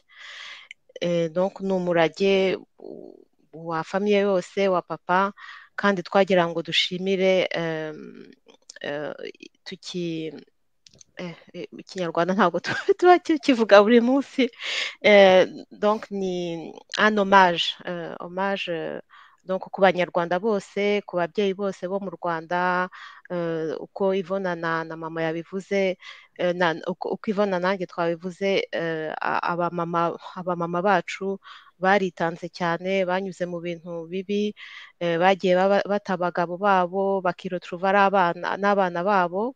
Ibintu byose barabitakaje bagatangira hazeho donc byari ukugira ngo si dushimire abantu bose kandi dutange ubutumwa bw'uko twarezwe n'ibyo papa yadusigiye na mama. Murakoze murakoze.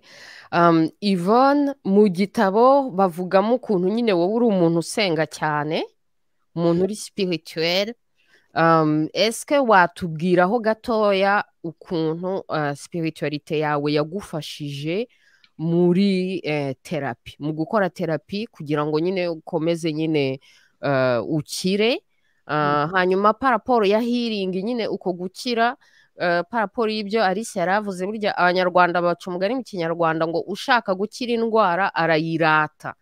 Donke iyo ushaka gukira urabivuga uravuga uri egisipurima nyine uvuga ku ndwara yawe niba ushaka gukira nyine you make some noise nye. Urumva se? Wowe spiritualite yawe pisike nyine mwabivuzeho mu gitabo nyine ukuntu wowe uri umuntu uri tre spirituel esike watubwiramo buriyevuma ukuntu nyine spiritualite yawe igufasha nyine muri iyo process yo gukira? Urakoze kumbaza ku byerekeye spiritualite navuga yuko ni umurage icya mbere na mbere ni umurage navuga ababyeyi baduhaye. Ngewe nabatijwe mu gaturika nkiri umwana nkora gatigisimu ndibuka yari ikomeye cyane. Nkora gukomezwa guhazwa ibyo byose narabikoze. Ariko muri makeya kamemo ikintu cyamfashije cyane kugaruka kwizera kugira ngo nshobore kwiyubaka byaje mbese mu bipande byinshi si byo byatangiye ndi mutoya nyine kuko intambara burya yatangiye mfite imyaka icyenda. Ndibuka umunsi nabonye ayo masasu ari guhita mu kirere mbese intambara igitangira. Ikintu cya mbere cyanjemo ni ugusenga. Ubwo rero nsenze numva ngize amahoro ku mutima. Eh, noneho binanyibutsa ukuntu papa burya nawe yari umuntu wakundaga gusenga cyane cyane mu minsi ya nyuma mbere y'uko apfa yarasengaga cyane yatujyanaga no mu misa buri munsi. Noneho ubwo rero eh, nsubiye inyuma muri mirongo icyenda na mirongo icyenda ibihumbi magana cyenda igihumbi igihumbi magana cyenda na mirongo icyenda intambara itangira itariki ya mbere y'u- y'u- y'ukuboza y'ukwakira eh, nsenga ayo mahoro eh, yaramfashije mu gihe nyuma noneho twaraciye mu ntambara mu kwa kane eh, tumaze gupfusha abantu bose na papa amaze gupfa nagize igihe ntizeraga imana da navuze nti imana niba inadukunda rero ntago igihari. Kuko niba igihari ntabwo ishobora gutuma abantu bangana gutya bapfa. Ku mpande zose abantu wabonaga ari abantu b'abaturanyi bakundanye se babana neza eh, papa ntabwo yigeze atwigisha ngo kwanga umuntu ngo ni umututsi ni umutwa ni umuhutu none ijuru riratugwiriye abanyarwanda. Ubwo ngero nataye kwizera imyaka myinshi cyane buriya. Kugeza muri mirongo icyenda na mirongo icyenda mille neuf cent quatre-vingt-neuf, ibihumbi- igihumbi magana cyenda mirongo icyenda n'icyenda. Igihe nongeye kwihotuva ndi ku- kumva ko hari ikintu kimbuzemo cya mbere na mbere. Kubera ko nari maze im- imyaka urumva imyaka yari ibaye itanu ndi umwangavu sibyo? Ndi kwiyubaka mu gihugu twahungiyemo mu Bubiligi nta buzima nabonaga mbese. Nabonaga nta buzima bubaho. Ariko byageze aho ndavuga nti ntibishoboka. Ya mana yabagaho irihe? Ubwo nza guhura rero n'abantu um, amadini menshi baba bafite abantu bigisha ivanjiri ubwo rero nanjye nza guhura n'abantu batangira kunyibutsa imana ko idukunda se batangira kumbwira bati se uzi yuko burya mu buzima umuntu aca mu bibazo ariko kwihangana eh, tuzi yuko haba hari n'ubundi buzima bwiza bushobora kuba nyuma iyo wihanganye uka, ukababarira. Twagombye guca mu kubabarira cyane ngewe nabanje kwiga kwibabarira nyuma yo kubabarira kandi nabo numvaga bose ndakariye numvaga ndakariye isi yose. Eh, n'isi yose nashobora no kwitwika muri make burya iyo uri muri muri iriya eh, state of mind eh, uri depressed nk'uko bavuga eh, buriya eh, abenshi intambara yatubomoye buriya eh, tubivuga ukuntu biri. Donc mwiriya eta umuntu aba yarabonye abo bapfu warabonye ibintu byose bibi cyane umuntu ashobora kugirira undi buriya nta kintu ukizera wumva ushobora no gusova na kimwe. Ubwo rero nyuma rero nyuma maze kumenya imana nanone ko inkunda muri mirongo icyenda na mirongo icyenda n'icyenda eh, namaze nk'imyaka ibiri mbese ndi muri iyo kwi- kwiyubaka muri spirituality. Kuva igihe namenye noneho yuko eh, kubabarira ku- kwizera ko imana inkunda kumenya ko umuntu wese ari nkundi nubwo eh, tuba mu bihugu tuba mu- muri sosiyete zitubwira ah umwirabura agomba kuba munsi y'umuzungu umuzungu agomba kuba munsi y'umwirabura eh, mbese ibyo bintu byose usanga biba perpetuye mbese bikomeza gukwizwahizwa hose byo kwanga undi kubera ko aba atandukanye nawe. Naje gusanga muri makeya twese abantu ku isi ari ibibazo twese ducamo. Um, amoko yose amasosiyete yose noneho abanyarwanda rero twe turi particulier kuko twageza turanicana kubera ko umuntu atandukanye nawe.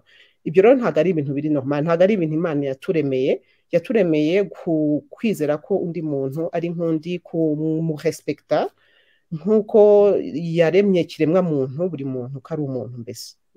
Ubwo buntu twavuze. Donc ubwo buntu bujyana pour na spirituality ntabwo ari ibintu ushobora gutandukanya kuko eh, ushobora gushaka impamvu zose zibaho ushobora kwica undi cyangwa kumugirira nabi ntabwo ari ibyo imana idusaba kandi ntabwo ari ibyo imana yaturemeye.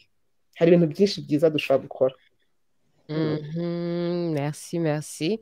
Hari byinshi byiza umuntu ashobora gukora um, justement noneho Alice Nsabimana tubwire project yawe ufite indi project nziza mu rwego rw'ibyo byinshi byiza umuntu ashobora gukora.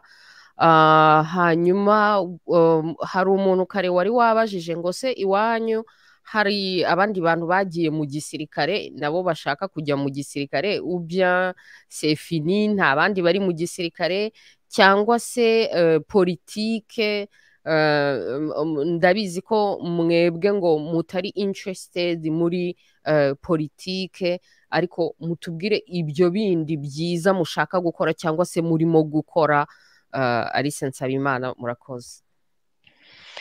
Uko nabivuze kare mu gifaransa eh, muri sosiyete hari ikeneye abantu bakora ibintu byose. Ikeneye abasirikari ikeneye abantu bakora politike ikeneye abanditsi ikeneye vraiment un peu de tout.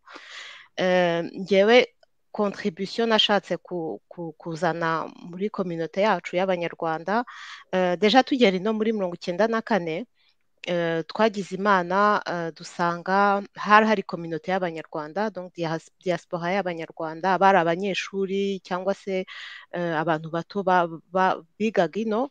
Eh, icyo gihe rero bashatse kugira ngo eh, abana batangiye kuza muri mirongo icyenda na kane bahure badata umuco eh, bashyiraho eh, itorero itorero ryo kubyina ryitwaga inyange icyo gihe rero riracyakomeza Eh, twari mu ba mbere ngewe ivona n'abandi benshi twabyinyemo Eh, icyo kintu cyatumye eh, dukomeza umuco tu- tubona ahantu ho guhura ngo tuvuge ikinyarwanda dukomeze kubyina ibyo byose bya- byarakomeje bituma dushobora gu- gutangira eh, iyo premier chemin ya, reconstruction. Ngewe rero nanjye nanyuze mu nzira ivona yanyuzemo.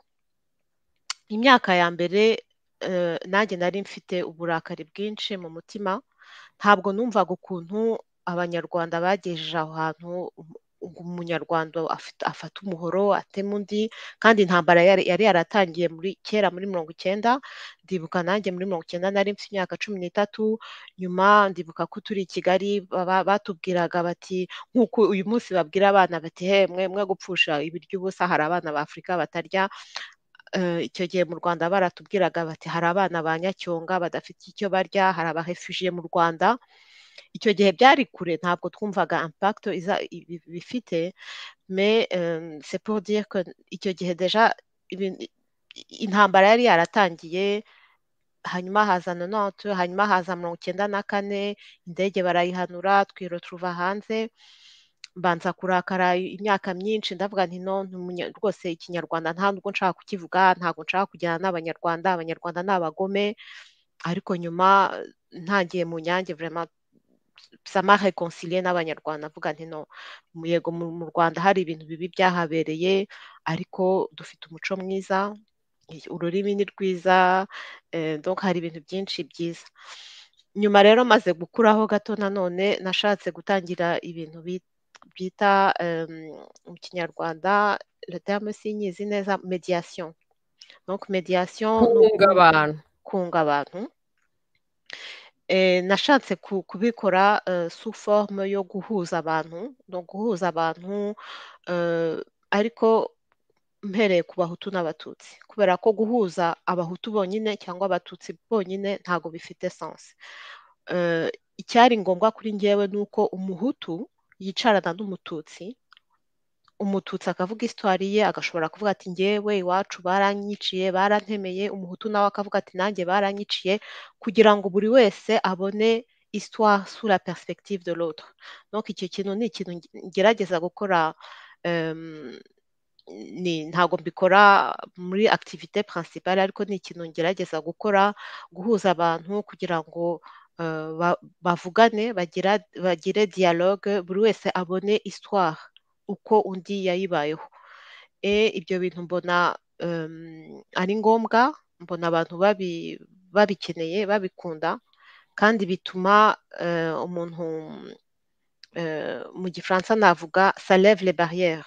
Bituma ushobora kumva ibyo muntu yanyuzemo kandi iyo wumvishe ibyo muntu yanyuzemo bituma wemera yuko ibyo ibyo byo twavugaga by'ubuntu n'ubumuntu ko twese turi bamwe. Abanyarwanda ni abantu bemera imana ariko nk'ahantu hose imana ya- yagiye malheureusement iba détourné umwe yajya kwica akica au nom de Dieu ariko na kera byabayeho les guerres de religion kuva kera ni ibintu byabayeho ariko icyo kintu cy- cy'ubumuntu ndumva amama cyara- cyaravuye mu banyarwanda ni ikintu ngerageza gushyira imbere kugira ngo abanyarwanda bavugane kugira ngo twese dushake amahoro nimba ngushakiye amahoro eh, amahoro atangira aho uri atangira n'abo mubana n'abavandimwe n'abo ku kazi eh, nimba rero nkwifurije amahoro ukanyifuriza amahoro eh, ndumva ariko tuzashobora ku, peut-être ni naïf ariko uko mbivuze nanone muri sosiyete hagomba abantu bose hagomba contribution yawe Louisa yanjye y'aba- y'abantu bose.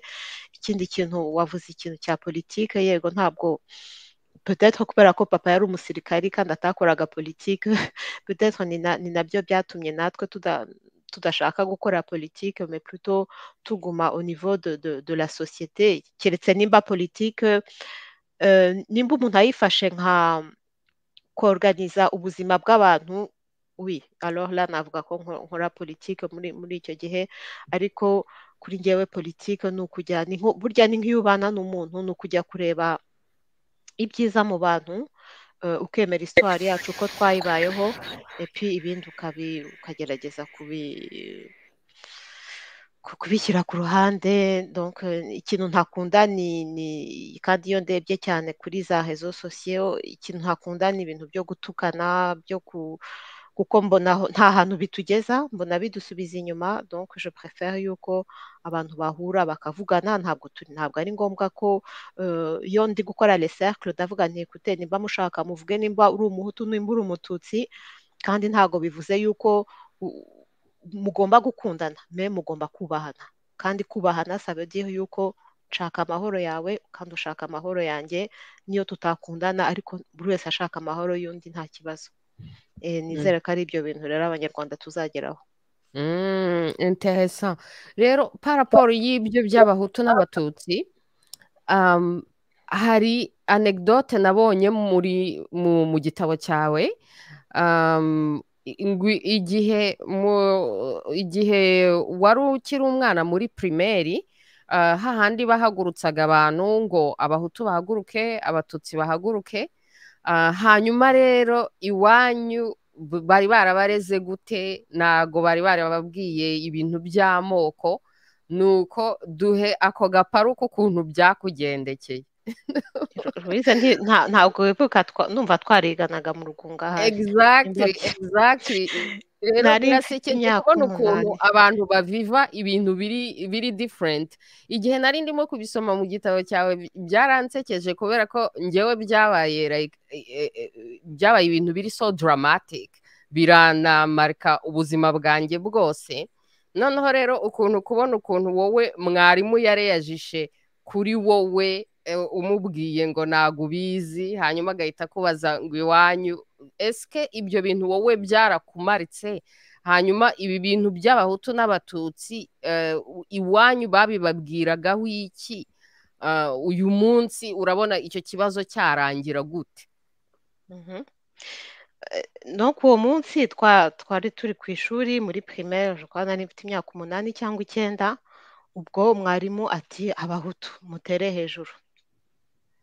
Abatutsi mutere hejuru. Abatwa mutere hejuru. Hose ntera hejuru. Mwarimu ako se wowe ngo uri gutera hejuru ngo ntabwo uzi icyo uri cyo. Ibintu by'amoko ntabwo nari mbizi. Nibwo bwa mbere nari mbyumvishije. Arambwira ati se wowe witwa nde? Ndambwira nti Nsabimana Lisa ah okay ngo ndakuzi aho uri. Nzi aho ngomba kugushyira. Ariko ubwo urumva nyine byarantangaje ngo naratashye mbaza papa mbaza mama ntese mwarimu yambajije ngo ndi umuhutu ndi umututsi njye byanyobeye hose nagiye ntera hejuru noneho nyuma arambwira ngo nzi ahantu ngomba kugushyira. Noneho mbaza papa ntese tu- turi iki? Turi abahutu? Turi iki? Mbere yo kunsubiza yabanje ara- yabanje arambwira ati ese ndumva ari mama wabimbwereje arambwira ati ese hari diferansi mu ishuri ryawe? Ndumva harimo abahutu n'abatutsi n'abatwa petetre ntese ko hari diferansi ubona hagati yanyu mwebwe abana? Ndamubwira nti no twese mbona tumeze kimwe kwa. Ati bara icyo ni cyo ni cyo kintu cya mbere ugomba kumenya. Mwese muri abanyarwanda ni cyo kintu cya mbere yambwiye. Ariko uko umbajije uri umuhutu. Nta c'est vrai ko ntabwo bigeze twigeze tu- tubibabwira ntabwo ntabwo pas jugé nécessaire ariko ara- baravuga ati no mu- mu- umuhutu ariko nta nta différence. Icyo gihe nari umwana donc nta ntago Enfin, byahagarariye aho ngaho ntabwo na- na- nashatse kubimenya cyane. Ariko nyuma rero intambara imaze gutera muri mirongo icyenda hagati ya mirongo icyenda na mirongo icyenda na kane nongeye kubaza papa icyo kibazo. Kubera ko byari bigeze igihe twari abana twari tumaze kuba abadolescent hatangiye kuba ibintu bya tension abantu bavuga politiki hatangiye amashyaka. Icyo kibazo nongera kukibaza papa ni none se ko kera wambwiye ngo ndi umuhutu? Noneho nkumva abahutu n'abatutsi hatangiye numva hari detention ibintu bya politiki abakiga abanyenduga nti finalmente ntikibazo ni ikihe noneho arambwira ati icyo gihe nari ndi kumwe na mubyara wanjye witwaga didier wabaga mu rugo naba ivona petetre nimba ubyibuka ivona. Ko papa yakundaga kutwicaza de temps en temps nimugoroba tumaze kurya aravuga ati bana banjye nimumara gukuraho gatoya mumaze kumenya ubwenge nza tuzajya tubabwira isitwari zo mu rwanda za famiye uko ivone yabivugaga papa yatujyanaga mu ruhengeri cyangwa ku gisenyi kwa banyogokuru akatubwira ukuntu bajyaga kuvoma desha twagendaga n'amaguru aho hose tukajya ahantu hose. Ariko yaravuze icyo gihe rwose ndabyibuka yaratubwiye ati ntabwo isomo ngiye kubaha ni isomo important. Ntabwo ndabivuga uko yabimbwiye pasiko icyo gihe yabivuze mu gifaransa yaravuze ati l'ennemi de l'homme c'est l'homme. Ni ukuvuga ko umenye ko umuntu ushobora kukugirira nabi ni umuntu ni umuntu ntabwo ari umuhutu ntabwo ari umututsi umenye ko ushobora kugira mwene wanyu w'umuhutu ushobora kukugirira nabi umenye ko dufite inshuti z'abatutsi tubana dopi imyaka myinshi ni nka bakuru banjye ni nka barumuna banjye twarabanye nuko ikintu ugomba kumenya ni uko umwanzi wawe ntabwo ugomba kumudefinisa par ubwoko par la nationalité cyangwa se ukasa umuzungu muki umenye ko rwose umuntu wese ashobora kuba umuntu wese ashobora kukugirira nabi. Nuko ni isomo tuka ryamperekeje icyo gihe kandi rikomeza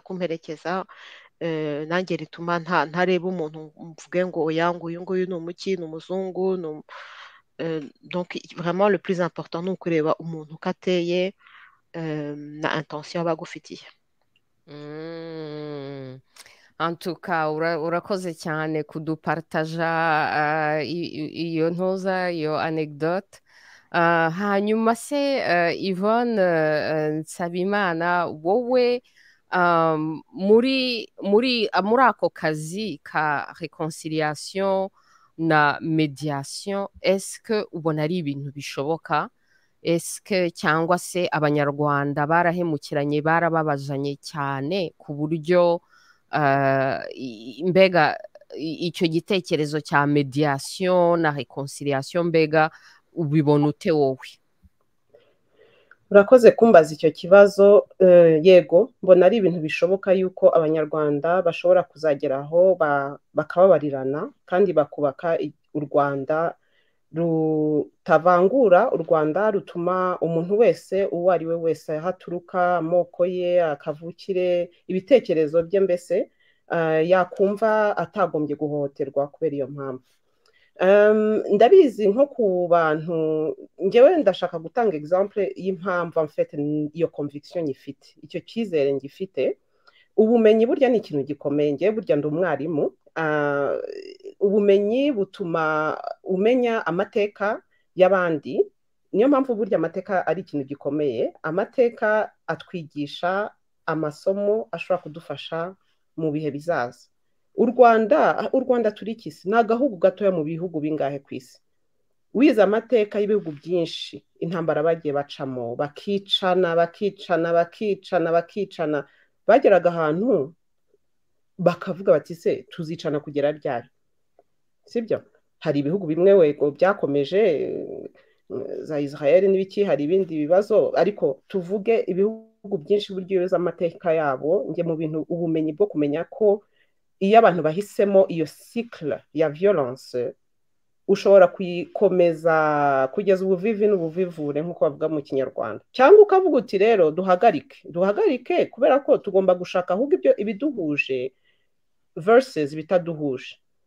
Niho rero ubumuntu buza. Burya iyo ubonye undi muntu nkawe wifuza kumumenya. Ukifuza kumenya amateka ye ukifuza kumenya ibyiza ashobora kukuzanira nk'uko nawe nawe ushobora kumuzanira ibyiza. Ntabwo bivuga yuko burya abanyarwanda kugira ngo bazumvikane banabane kandi babe rekonsiriye bivuga ngo wi ngo twese ngo turi beza ngo turi babi ngo ntabwo ari itopic way I'm talking about. Turebere ku bindi bihugu turebere tutagiye kure mu bubirigi abantu bitwa abawalo n'abafarama barabana sibyo? Ariko ntabwo bivuga ko bakundana burya. Sibyo?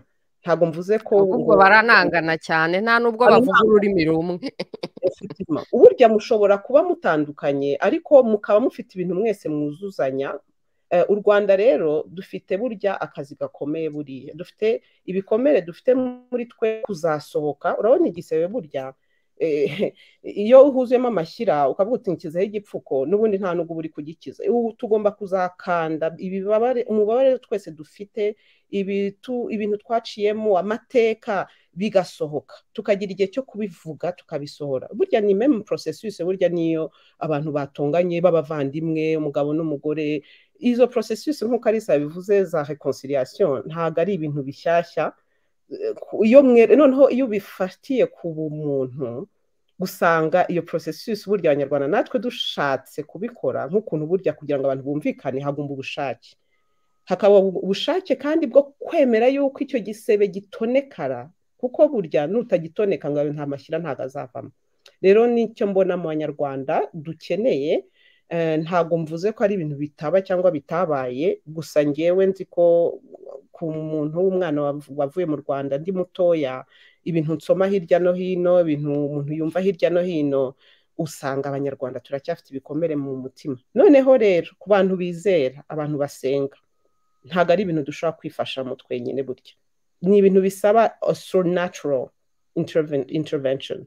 Kuko ngewe narabye experimentinze nabibayemo. Byageze ahantu numva umutima uraruhutse. Kuko nari mfite uburakari nari mfite nari ndemerewe ubu ntashobora no gusobanura. Ndumva umunyarwanda wese yanabyumva. Faso iyo wishwe wiciwe ugatakaza abawe. Ushobora guhitamo kurirwa uri muri iyo dark thinking cyangwa ukavuga uti e ubuzima bugomba gukomeza. Ntabwo nzahora mu mwijima.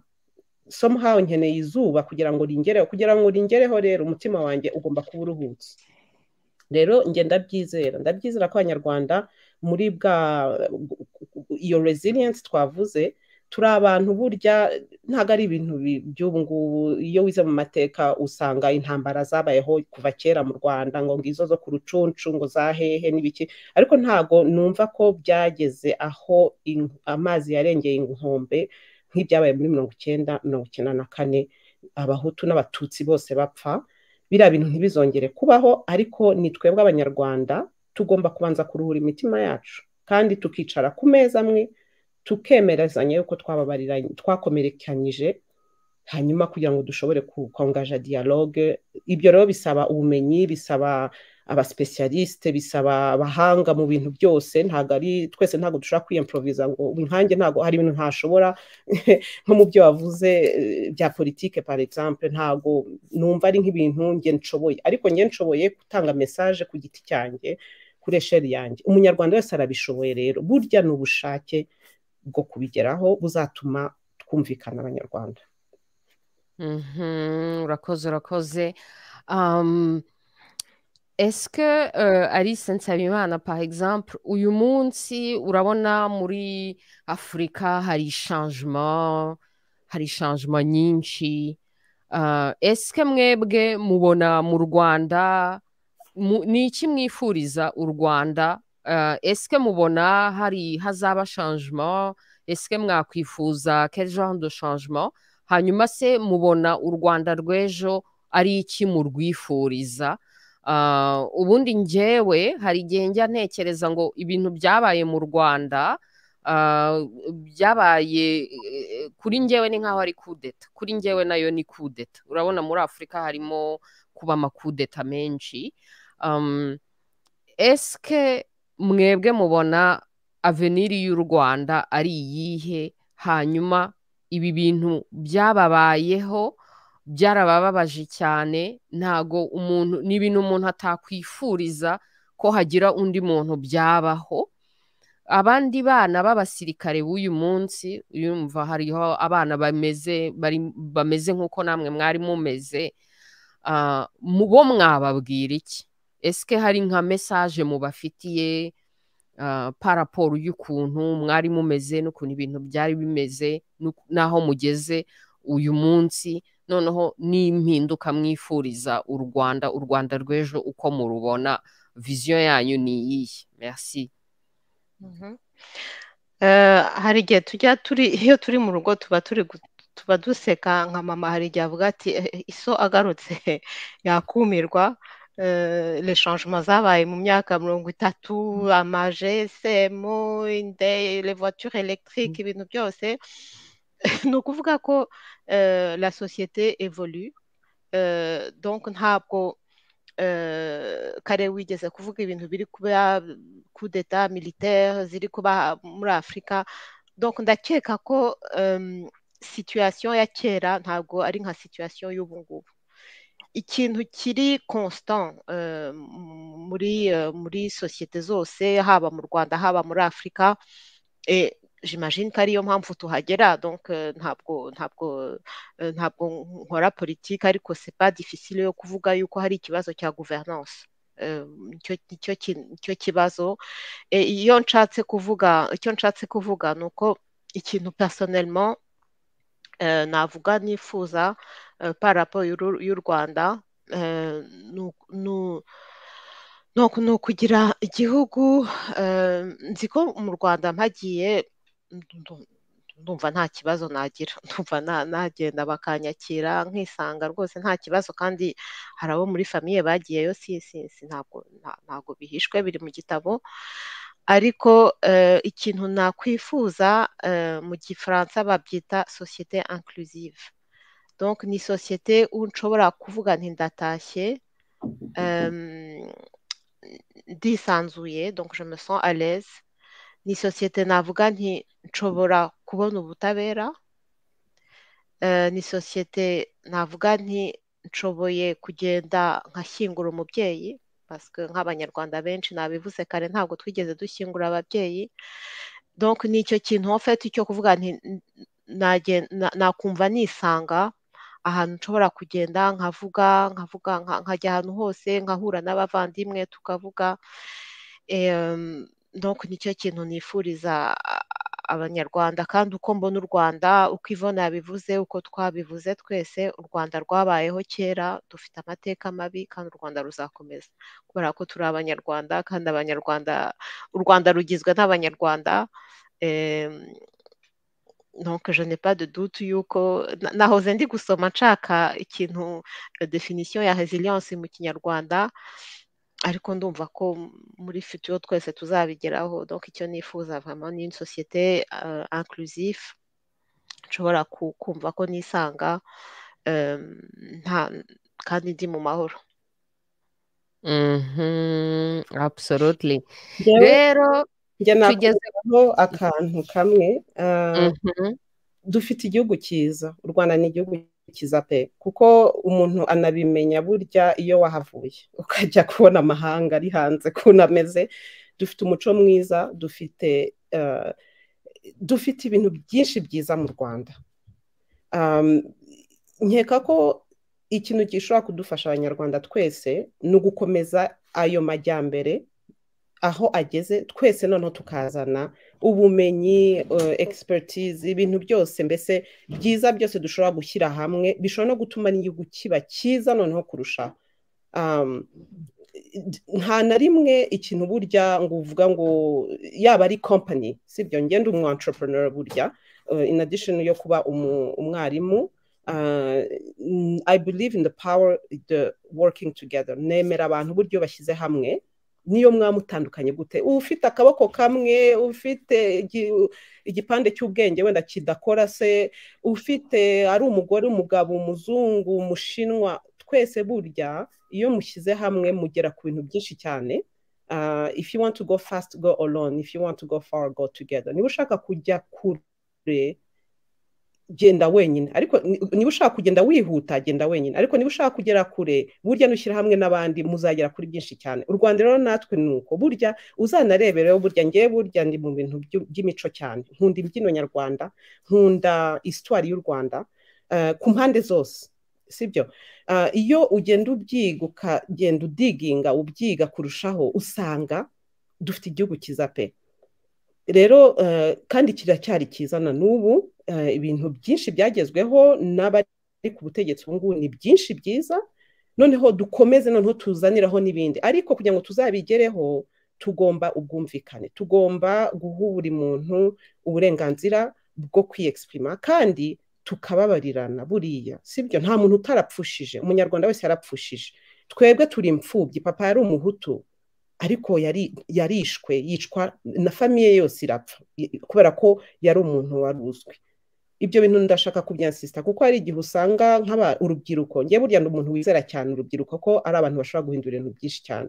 Hari igihe usanga uri gusoma nka isitwari z'urubyiruko bamwe wenda kutamenya isitwari y'abantu nkatwe twabayeho kera imbere y'uko wenda se ubutegetsi bujyaho buriho ubu ngubu ugasanga hari amateka atazwi. Ayo mateka rero twese tuyiga ku mpande zombi tuyashyire hamwe turobanura ibyiza ibibi bituma tutubaka igihugu cyacu. Ngewe burya ndi n'umupanafricanisite afurika rega ni na cyo kibazo dufite buriya. None se abanyafurika iyo badashyize hamwe nidukomeza kujya ubukungu buri iwacu muri afurika abantu bakajya bakomeza kwicana reba muri congo. Ntabwo twayivuze congo. Abantu bamaze gupfa ni benshi kubera ubukungu buhari. Kandi abantu babiri inyuma ni benshi kubera ubukungu buhari ariko ntabwo ari abo bantu bagenda bagafata umupanga ngo bice undi ubwabo. Ni twebwe banyafurika tubikora ni twebwe abanyarwanda twabikoze. Muri mirongo icyenda na kane abatutsi babatema cyangwa umuhutu yicwa. Rero icyo kintu rero tugomba kugisesengura. Nahoze ntabwo egisampure y'igisebe. Igisebe nitutagikanda ngo amashyira avemo. Ububabare twese dufite tubusohore turire twese tunarirane. Ngewe nta kintu nifuza kurusha nko kubona nk'umwana wanjye arirana n'abantu b'abana bari ku butegetsi ubu ngubu. Bakanamenyana. Kubera iki se? Bakanakorana bizinesi wayi nati igihugu ni icyacu twese dushyire hamwe ariko ntitugirane uburyarya tubanze dusesengure ibyo twaciyemo tubabarirane kugira ngo noneho dushobore kubaka igihugu cyiza kirushijeho uko kimeze ubu ngubu kandi igihugu dufite ubu ngubu ni byo ni cyiza koko pe. Murakoze. Absolutely. Tubabarirane kandi ngewe deja rise nsabimana yambabariye deja.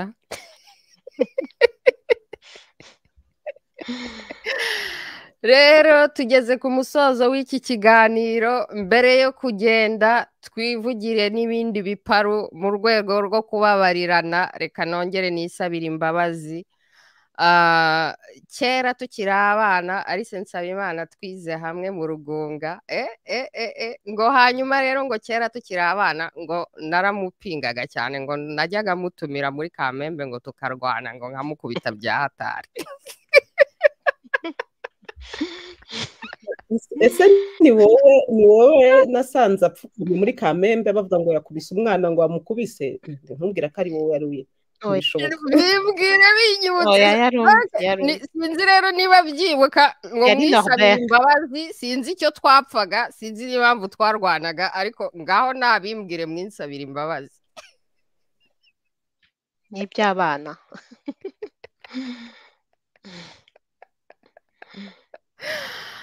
ivone izo nkuru warazumvise se?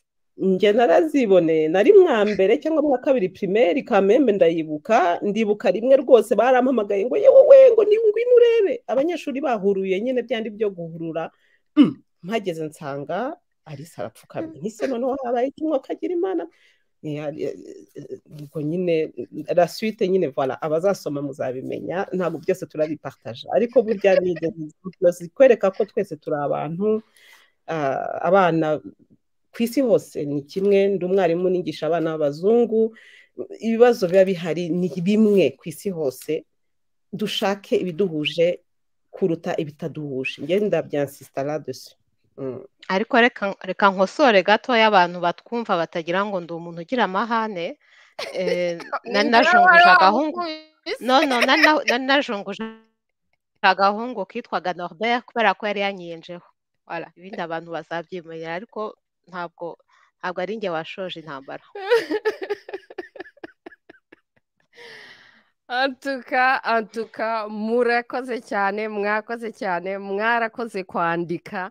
Ah, reka ndebe rero muri comments niba hari quelque commentaire cyangwa se eh, quelque question eh, turebe niba hari izo twasubiza eh, vu- vuba vuba vuba vuba hanyuma ah, tubareke mwigendere. Bea Bea ati resilience ni ukwiyakira Yvonne we. Aha birashoboka. Kagoma Egre ati komera muvandimwe. Arasuhuza eh, arasuhuza Mukamusoni Marie Douce Bemba ubwo mfatiye aho bigeze my people. Komanteri zose nazibonye ni nyinshi nyinshi nyinshi nyinshi cyane. Hari izo twagiye ducishamo donke zose ntabwo twazigeraho ariko mfatiye aho zigeze izi ngizi ziri kurangiza ariko n'izindi worry twari twazibonye. Marie Douce Bemba ati buriya mama Victoire Ingabire Umuhoza arishimye ati mujye mushishoza gusa abanyepolitike ni ugukomeza mukarwana mukotanyi ngewe wambwira aho njye mu Rwanda namubaza niba kandoyi eh, okay ibi ni ibindi yavugaga. Eva Paz turi kumwe ndakubona. Kagoma Egre arasuhuza Jean d'Arc Warrior ukomera cyane. Rukara Bonaparte ati Yvonne ako kantu uvuze niko nkange ndashaka kwihuta niyo mpamvu ntagaragara ariko umunsi nzagaragara nzagendana n'abandi. Ubwo nibaza ko yari ari kuvuga ko abantu bari hamwe uh, bungurana ibitekerezo tusara Mukamusoni Liberata ati Alice Nsabimana muvandimwe aho uri kurota. Niba hari abagiye i Rwanda ntibagire icyo baba ko ari ukugira mwese muzajyeyo ubundi inkotanyi zizica umunyarwanda wese wari ufite imyaka cumi n'ine muri 94 Ehe. Brigitte Uwase ati bana ba kasitari mwararezwe rwose n'impumyi. Itabona muyinyuze iruhande yahumurirwa n'ubumuntu. Mu- mubishimirwe n'ababyeyi babibarutse bakabarera babyubahirwe mwese mugire umugisha. Ebana kabisa ibi ni byo turashimira cyane. Papa wanyu na mama wanyu ah, babareze neza cyane. Umutesi pamela ati marie douze bemba bonne nuit. Um, bea bea ati ivone icyo cyongereza wakimenyeye hegamwa ko ntanjye ntacyo wari uzi? Eee uzanyigishe walahi walahi ngaho bivuge bea bea ati he? Ni karibu beya nzakikwigisha ndi umwarimu. In fact ngiye nkunda amaklasi ya online cyane. Uzambwire tu. Ntiwumva ntiwumva bea bea ntiwumva si icyongereza rwose uzaze rwose. One ansamburo ne ansamburo Nestor N ati kumvikana n'inkotanyi si ikintu cyoroshye. Ubwo bufura benshi muri bo ntibabufise. Jean d'Arc Warrior ati ako kantu yes. Umugabo umwe agerwa kuri nyina kuko buri muntu wese afite impano iyo uyishyize hamwe twagera kuri byinshi. Aha uyu nguyu arimo arasapotinga igitekerezo cyanyu cyo gushyira hamwe. Felix nsabimana ariko se inshuti y'imana uzunga n'intore kandi zifite indahiro zara- zarahiye ubundi abanyarwanda bafite ubumuntu nta kibazo bafitanye. Ubundi rero intore zo zizakwihera utuzi twamunyuza nutitonda. Aha aha. Marie douze bemba ati songamane amara yakoze bariyeri imitwe yaciwe ntazongera kubibona. Aha ni musenge mukotanyi. Ngewe nzarwana nawe mpaka avuyeho. Uh, mukamusoni liberata kagoma egre. Hobe sheri wa bea bea. Eh kagoma egre. Ariko uzi ko iyo udahari bea baba bari hafi kumugupapura hmm, ntacyo mvuze ariko iyo udahari sha. Garçon de Dieu, Liberata Komera, uh, FPR ihari ntago reconciliation ntago ishoboka. Niba bigisha ko hapfuye ubwoko bumwe bw'abatutsi abana ni byo birirwa biga ni byo bazi. Rero igihe fpr itaramenya ko yishe ntago bishoboka. Aha. Jean d'arc ati kagoma egre long time no see. Ebana hari komantere nyinshi cyane hari komantere nyinshi cyane. Mukamusoni berata ati uh, disi 20 ziri imbere bizashoboka bizashoboka bizashoboka. Erega abantu baba batera imbuto urumva se niyo uteye imbuto y'igiti ntabwo uhita ubona imbuto uwo munsi ntabwo uhita ubona uwo munsi bitwara imyaka n'imyaka. Ngewe aka kazi barise nsabimana n'umuryango we na yvonne n'abandi bavandimwe barimo ndi kubibona nko gutera imbuto ni ibintu ni iki giti bari gutera imbuto z'iki giti bari gutera ni ibintu bizagaragara mu myaka myinshi cyane iri imbere ntabwo ari ibintu twahita tubona ariko birashoboka kandi ni ibintu byiza cyane. Rasharite ati mayi pipo wababariwe eee nababariwe sha nababariwe. Ariko urabona ni ukubera ko nahuye n'abantu beza cyane. Naho ubundi buriya yari kunca nk'inzoga na broshete kanyu imagine ko nta n'inzoga na broshete yanciye? Ariko buriya ninjya mu burigi yanca nk'inzoga nka cyane cyane.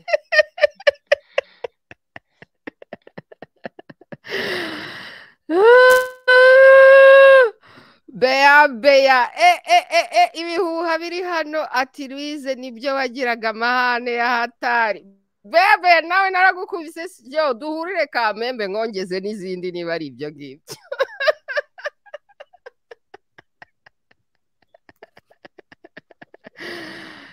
La icyo nzi ni uko nta muntu washoboraga kumporovoka ngo simwishyure. Uvuga ngo turarwana duhita duhana gahunda muri kamembe tujya kurwanirayo kabisi icyo nakundiraga ibintu byo kurwana bya kera rero hagati yacu ni uko twararwanaga hagati yacu. Niba dufitanye bifu turavuga ngo duhure kamembe turwane tukarwana bifu ikarangirira aho ngaho. Ntabwo byabaga ibintu ngo ke ngo noneho wagiye kuzana grand frere ngo akubite ngo famiye yanjye yose ngo nanjye nagiye gutabaza ngo iki n'ibiki bibiki you know kibaye intambara z'abantu bakuru zajyaga ziba nk'intambara z'abana. Urumva se? Kuko muri abana murarwana bikarekeraho the next day mukongera mukaba inshuti urumva se? The next day mukongera mukarwana ariko abantu bakuru bo bararwana bikaba ibindi bindi ahubwo yenda nagira abanyarwanda ko bajya barwana nk'uko natwe twarwanaga. Byatuma abantu bumvikana kurushaho kuko inzika ziba zivuyeho. Iyo ufitanye n'ikibazo n'umuntu mugahita mugikemura mutabanje gutegereza kuzamo ya mashyira navuze bituma munetwaya icyo giseba mucyoza you know I think ko vrema ku niba mugiranye ikibazo n'abantu mukagikemura. Kandi noneho abantu bakabwizanya ukuri noneho kandi ku mugaragaro nk'uku nguku twahuye tuvuga ibintu uko tubyumva uko twishakiye buri wese avuga ibye uko byishakiye ni ibintu byiza cyane. Ebana ndabishima kabisa. Rero ntago twabirangiza ntago twabirangiza kabisa. Warayinzaye barati umwana wa kastar notre sauveur umutarabyumba. Mukomere mukomere cyane. Murabibona neza ko hari abantu benshi cyane bakundaga papa wanyu. Donke hari komantere nyinshi cyane ntabwo twazivamo. Ari Yvonne muri ishema ry'umuryango wa Nsabimana mukomere mukomere cyane. Kagoma egre ati ninde hagati ya Alice na Yvonne wigisha muri university ya Utah? Nibaza ko ari undi ari undi yenda atari atari bo kuko bombi mwembi muri mu Bubiligi no?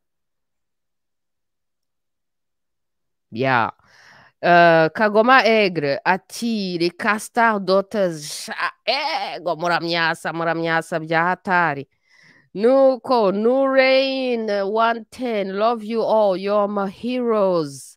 You know Brigitte Uwase ati mwibaze rero uwo my people yakubita ikofi ry'amabuno yahavana n'abapompiye ndabarahiye nespa wacu. Eh icyo gihe se hari amabuno nagiraga icyo gihe nta mabuno nagiraga narakana. Kangana n'iki? Nari mfite n'agasuruno eh muzabisoma mu gitabo cya Alice.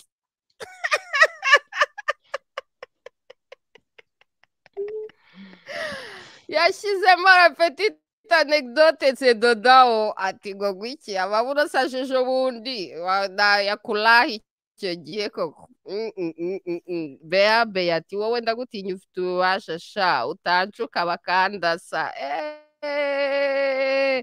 Nuko eva pazi ati kagoma ntiwumvise wavuze ko ari umwarimu? Ni ivode ni ivode ni we mwarimu. Nuko ivode amakuru ya morisi ubwo ni bea uri kwibariza. Bea bea reka kubaza amakuru ya musaza wabo kandi ufite kagoma egere reka kubaza amakuru yabo. Ya musaza wabo na yo tuguhaye. Me bavuze ko azaba ari montreal. Yavuze ko azaba ari montreal ejo bundi. Rose septembre igihe azaba yagiye guperezanta igitabo muri montreal. Rashahite ati pamela uyu mugoroba wabaye umutagatifu shapoba antuka jeanne ikiganiro cyiza cyane. Merci beaucoup. Hashtag rwivanga. Rwivanga komera cyane. Baguhe baguhe. Turahari hano turahari hano turi kumwe n'abakobwa beza hano ariko nyine patushe padondi pa byose ni abakobwa b'umujenerali urebaho bakurasa birangira arohorezami reka turekeraho reka turekeraho ndabona hari kuri hari komanteri nyinshi cyane mwarezwe neza rashahite ari kubivuga n'abandi babivuze daniela monorina turakubona turakubona. Reka rero tubahe umwanya wo gusezera babwire abanyarwanda basezere sabotage from within. Ariko imana ikunda abanyarwanda pe. Reba ukuntu dufite abakobwa bafite uburanga n'umuco mwiza mutera imbere turabakunda. Mukomere cyane. Nuko uti rukara bonaparte ati yuwe nayi toke show ubundi abakobwa bameze nkawe ntabwo bajya babeshya bagira urukundo rwa nyarwo ngenda byikundira kabisa. Oya kabisa ngewe ntabwo njya mbaho muri ipokirizi kabisa ibyo bintu kabisa ntabwo bibaho iwanjye you know. Jean d'arc warrior ati mukomereze aho bakobwa beza bari smart keep it up good work your dad is proud of you may he continue to rest in peace. Kabisa iki nanjye ni cyo nababwira ni umubyeyi abona abana be bameze nk'uko mumeze ari so so so so proud. Rero mubyishimire cyane kandi umubyeyi wanyu aho ari arabishimiye cyane. Bea bea ati wari unanutse warahi nari inanutse se ahubwo nanabagaho ko nari amagufa gusa.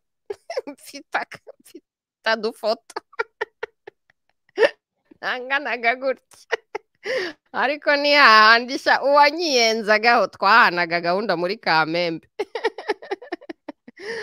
Olive murenzi mukomere rwose mukomere rwose. Nuko rero reka tureke Yvonne nsabimana atangire abasezere hanyuma na alice nawe abasezere. Mwakoze cyane ndabashimira ndabasaba ngo mugende mugure iki gitabo kiri kuri amazon hanyuma ejo bundi muri montreal rose septembre alice na maurice bazaba bahari. Montreal kuri centre saint pierre abari montreal barahazi kuri rue pane iri kuri metro baudry. Nuko murakoze cyane ndabashimiye. Yvonne nsabimana uradusezera utubwira ngo iki urakoze cyane. Urakoze cyane louise kandi turashimira abanyarwanda bose mumaze kudukurikira aho muri hose mu rwanda muri diaspora hirya no hino. Ngenda arangiza ndasoza partaja un passage y'igitabo. Ntabwo muri kuyibona neza kuko sikirini yanjye iri blurry. Justement babazaga amakuru ya Maurice. Muri iki gitabo mu gusoza mu gitabo twashatse ko abanyarwanda tubaha ubutumwa ubutumwa buturutse ku mubyeyi wacu. Ubutumwa rero yari afite igihugu kandi ngewe ni ikintu navuga ko afite amahoro ahari kuko ubwo butumwa bwaje sound and clear as an inspiration. Ubwo rero yaduhaye ubutumwa bukomeye bumwe bwitwa le pardon et la paix.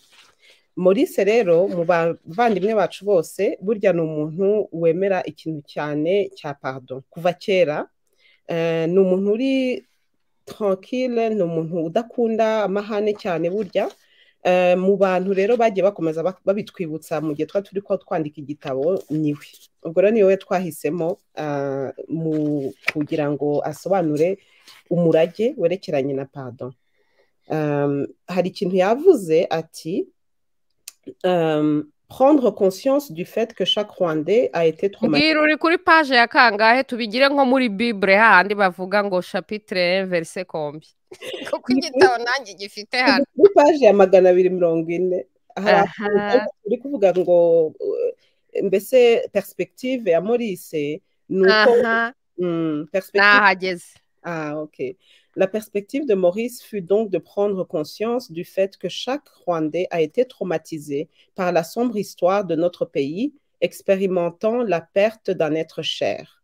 So the perspective of Maurice is to be conscious that every Rwandese person has been traumatized by the dark pages of our history in our country, experimenting the loss of someone that is very uh, important or dear to them.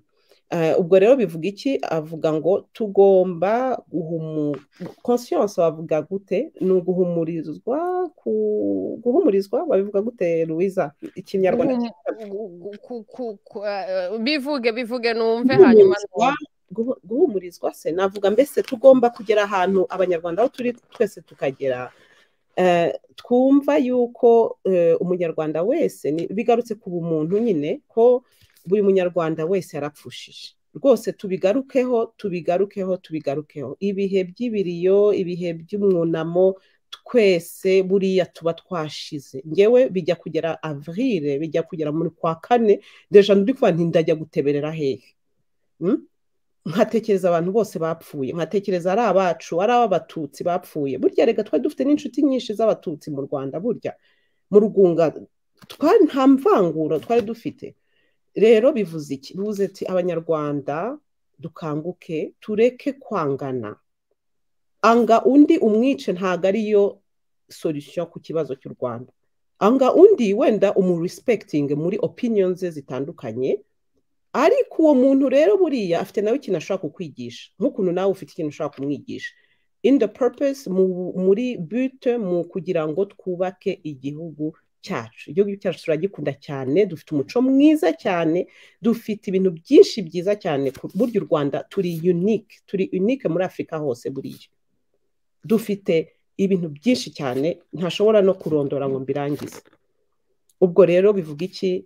Tubabarirane twumvikane ntabwo dukeneye kuba bamwe mu bitekerezo ntabwo dukeneye kuba bamwe mu cyerekezo dushaka kugirira igihugu ariko dushobora gushyira hamwe kugira ngo icyo gihugu twese tukigeze aharushijeho aho tugeze ubu ngubu. Nge rero ni ho nasozereza iki ni ikiganiro mu bindi biganiro bizaza nk'uko tubyifuza nk'uko arisa yabivuze turi igihe tugeze mu buzima bwacu twumva igihe kirageze. Igihe kirageze cy'ubwumvikane buruhijeho ubwumvikane tumaze kugeraho mu banyarwanda twese hamwe.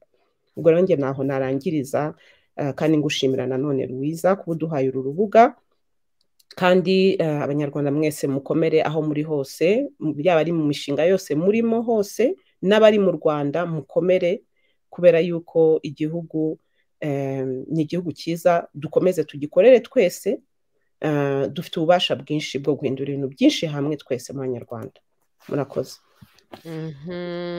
Afite iyo mesaje ya musaza wanyu ni nkaho ari kompasiyo asaba abantu kugira kompasiyo yo kumva ko umuntu ari umuntu. Igitabo cyitwa resilience mu gifaransa hanyuma kikaba cyitwa after all was lost. Mu cyongereza. Muri description ya show nashyize muri description ya show nashyizeho link yacyo kuri amazon ku buryo uwagishaka wese ahita ajya muri link ya ya description muri description ya show agahita abonaho link y'aho yakigura kuri uh, amazon.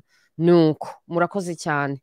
Hanyuma rero Alice Nsabimana ijambo ryo gukorotira ryo kutwirukana dutahe kandi waba kandi wabo ni iryawe tubwire ni wowe porte parole wa famille uh, Nsabimana yose ni wowe izina ryawe riri kuri kino gitabo wakoze akazi keza cyane ko kubasha kudokumenta amateka yanyu no kubasha gushyira hamwe no kubasha gupaburishinga iki gitabo.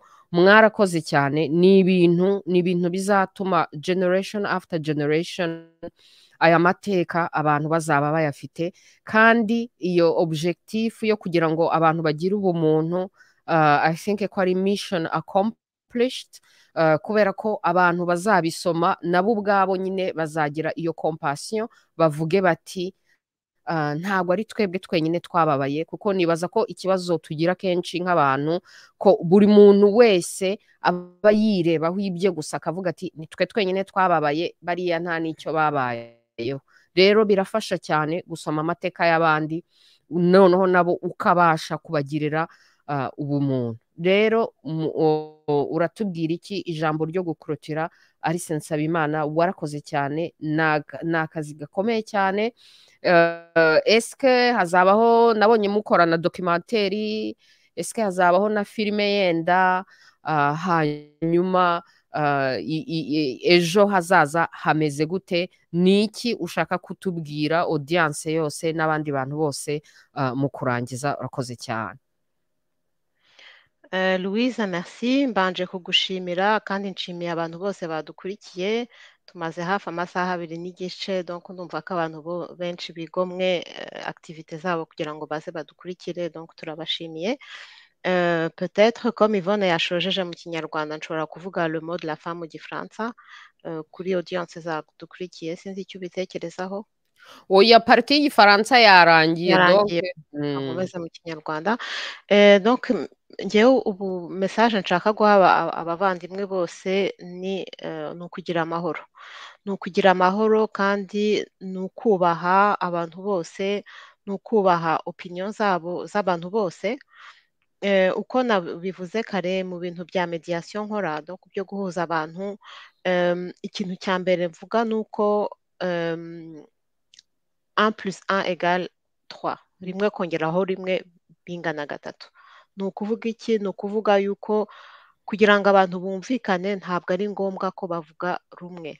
Kugira ngo abantu bumvikane ntabwo bagomba kuba ari bombi abahutu abakiga abanyenduga abatutsi. Oya umuhutu ashobora kwicara n'umututsi badafite isitwari zimwe batemera bimwe. Umwe avuga ati ngewe nemera ubutegetsi bwa habyarimana ngewe nemera ubutegetsi bwa kagame. Ariko ntabwo bivuze yuko abantu badashobora kubana ngo bicare basangire niyo batakundana. Njye niyo message mpa mu bantu. Ni ukuvuga yuko icyo ntekereza ntabwo kiruta icyo utekereza. Icyangombwa ni uko buri wese agira respect ku bintu umuntu yumva akora ari byo ntabwo ushakiye ubugome tanko ntaje ngo ngutuke ngo utukire iwawe. Ni ukuvuga yuko opinion z'abantu ndazisoma ndazumva ndazemera ndazirespekta hari abantu bumva yuko ikintu cyangombwa ari ubutabera hari abantu bumva ko ikintu cyangombwa ari ukubabarirana. Izo izo zose za sosiyete nizo zizatuma dushobora kwavansa tukagera hamwe. Abanyarwanda aho bari hose ndabashuhuje mbifurije amahoro turabakunda ubwo naho ubutaha mwakoze kuba muri kumwe natwe Yvonne wakoze kunyunganira louise wakoze namwe mwese bavandimwe mwakoze kudukurikira ubwo naho ubutaha. Mwakoze cyane dore mpaka na eme bamukunde yahageze. Ibaze eme bamukunde yari yarabuze ariko eme wari waragiye koko? None yahigereye ibaze mpaka na yahageze donke ibintu birakomeye cyane.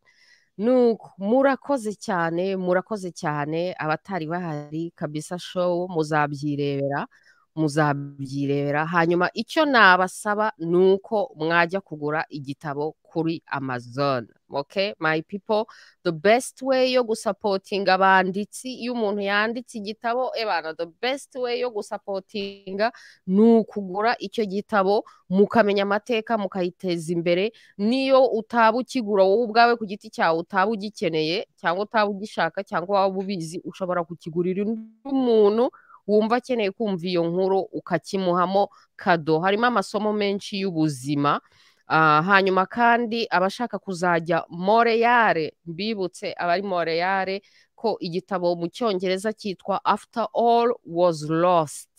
Hanyuma evenoma ni le 16 septembre samedi 16 septembre kuri centre saint pierre iri kuri huipane iri kuri metro baudry. Abari moreyare benshi cyane murahazi. Nabonye harimo abakobwa bari kwivugira ngo bazaza kwirebera ngo musaza wanyu ubwo mumubwire.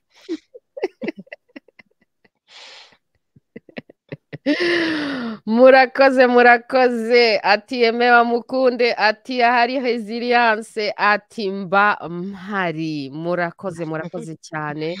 Turabakunda. Santimamo ko mugire wikendi nziza turabashimira ndabashimiye cyane. Iki ni igikorwa gikomeye cyane mukoreye umuryango wanyu hanyuma kandi mukoreye n'umuryango nyarwanda. Noneho rero semempa ngo umuryango nyarwanda gusa ni l'humanité l'humanité dans son ensemble kuko deja igitabo kiri mu gifaransa no mu cyongereza bivuga ngo l'humanité dans son ensemble. Murayifashije kandi byadufashije kumenya umubyeyi wanyu binatwereka n'ukuntu yari afite ubwo bumuntu n'ukuntu ari umuntu washakaga amahoro wakundaga amahoro. Kiriya kintu ngewe cyarantushije cyane aho avuga ukuntu yagiye ku rugamba bikamubabaza cyane ko ahura n'abana ba kadogo biriya byo kuvuga ngo urundi ruhande rwazanye abasirikare b'abana mbega bihita binyereka karagiteri y'umuntu urumva se karagiteri y'umuntu umuntu ari umusirikare w'umuporofesiyoneri hanyuma akababazwa cyane no kujya ku rugamba agahurirayo n'abana. Kuba abibona no kuba bimubabaza noneho kugera n'aho anabibwira n'abana be ngewe ibyo mbega idefayinizi urabona nk'ikintu kidefinisa umuntu. Icyo kintu ngewe kuri ngewe byaramaritse bitavuga nti dore umugabo w'umuntu ufite ubumuntu. Ni inkuru nziza cyane abantu bagomba kumenya. Murakoze rero ndabashimiye cyane bifuriza umugisha w'imana n'umuryango wanyu wose na mama wanyu mumusuhuze cyane epi ubwo dutegereje nyine ibindi muzatubwira murakoze. Murakoze. Merci. Murakoze Alright, my people, mupepere, mupepere. Alright, okay rero, my people, kuyavuga siko kuyamara, barakoze, barakoze. Uh, sœurs Nsabimana, c'était magnifique, magnifique, magnifique. Byari byiza, la charité, exactement. Umubyeyi wanyu akomeze aruhukire uh, mu mahoro. Ni byo tubifuriza ni byo tubifuriza. Murakoze cyane. Rero my people naho ubutaha naho ubutaha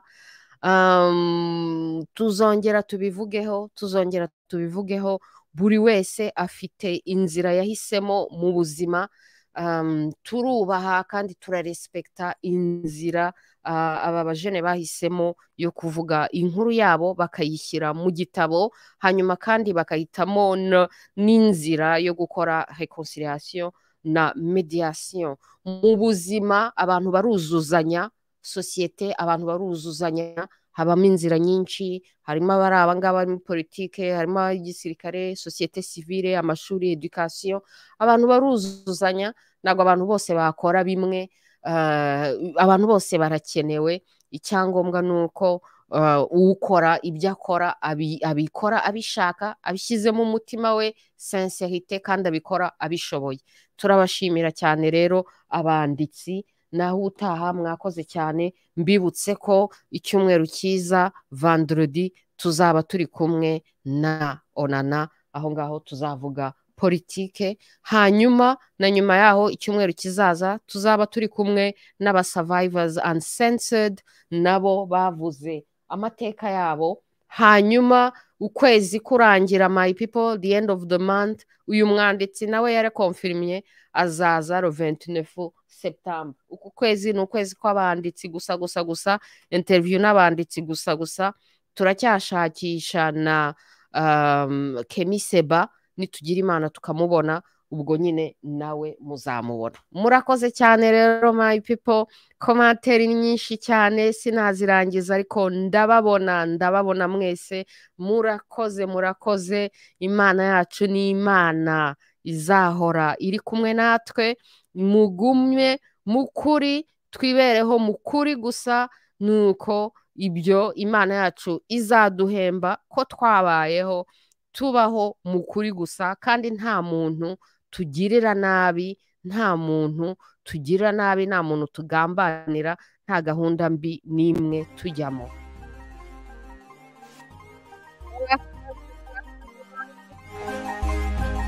Wikendi wikendi hejuru muri redifiziyo ikinyarwanda zagishyira ku ruhande rwaryo gusa nyine namwe murabizi.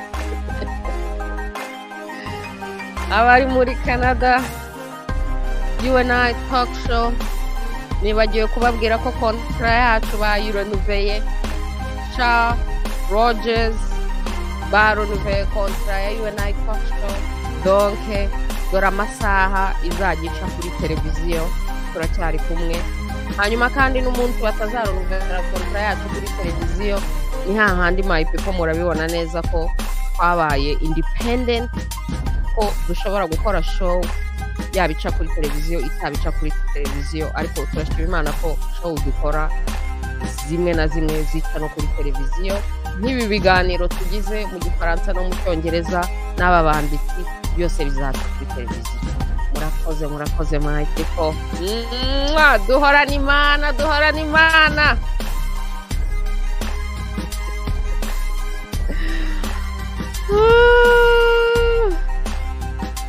Bon weekend. Baya baya. Bon weekend bon weekend. Abahanga gusa gusa gusa abasoma bafite platform zabo bajya bajya muri platform zabo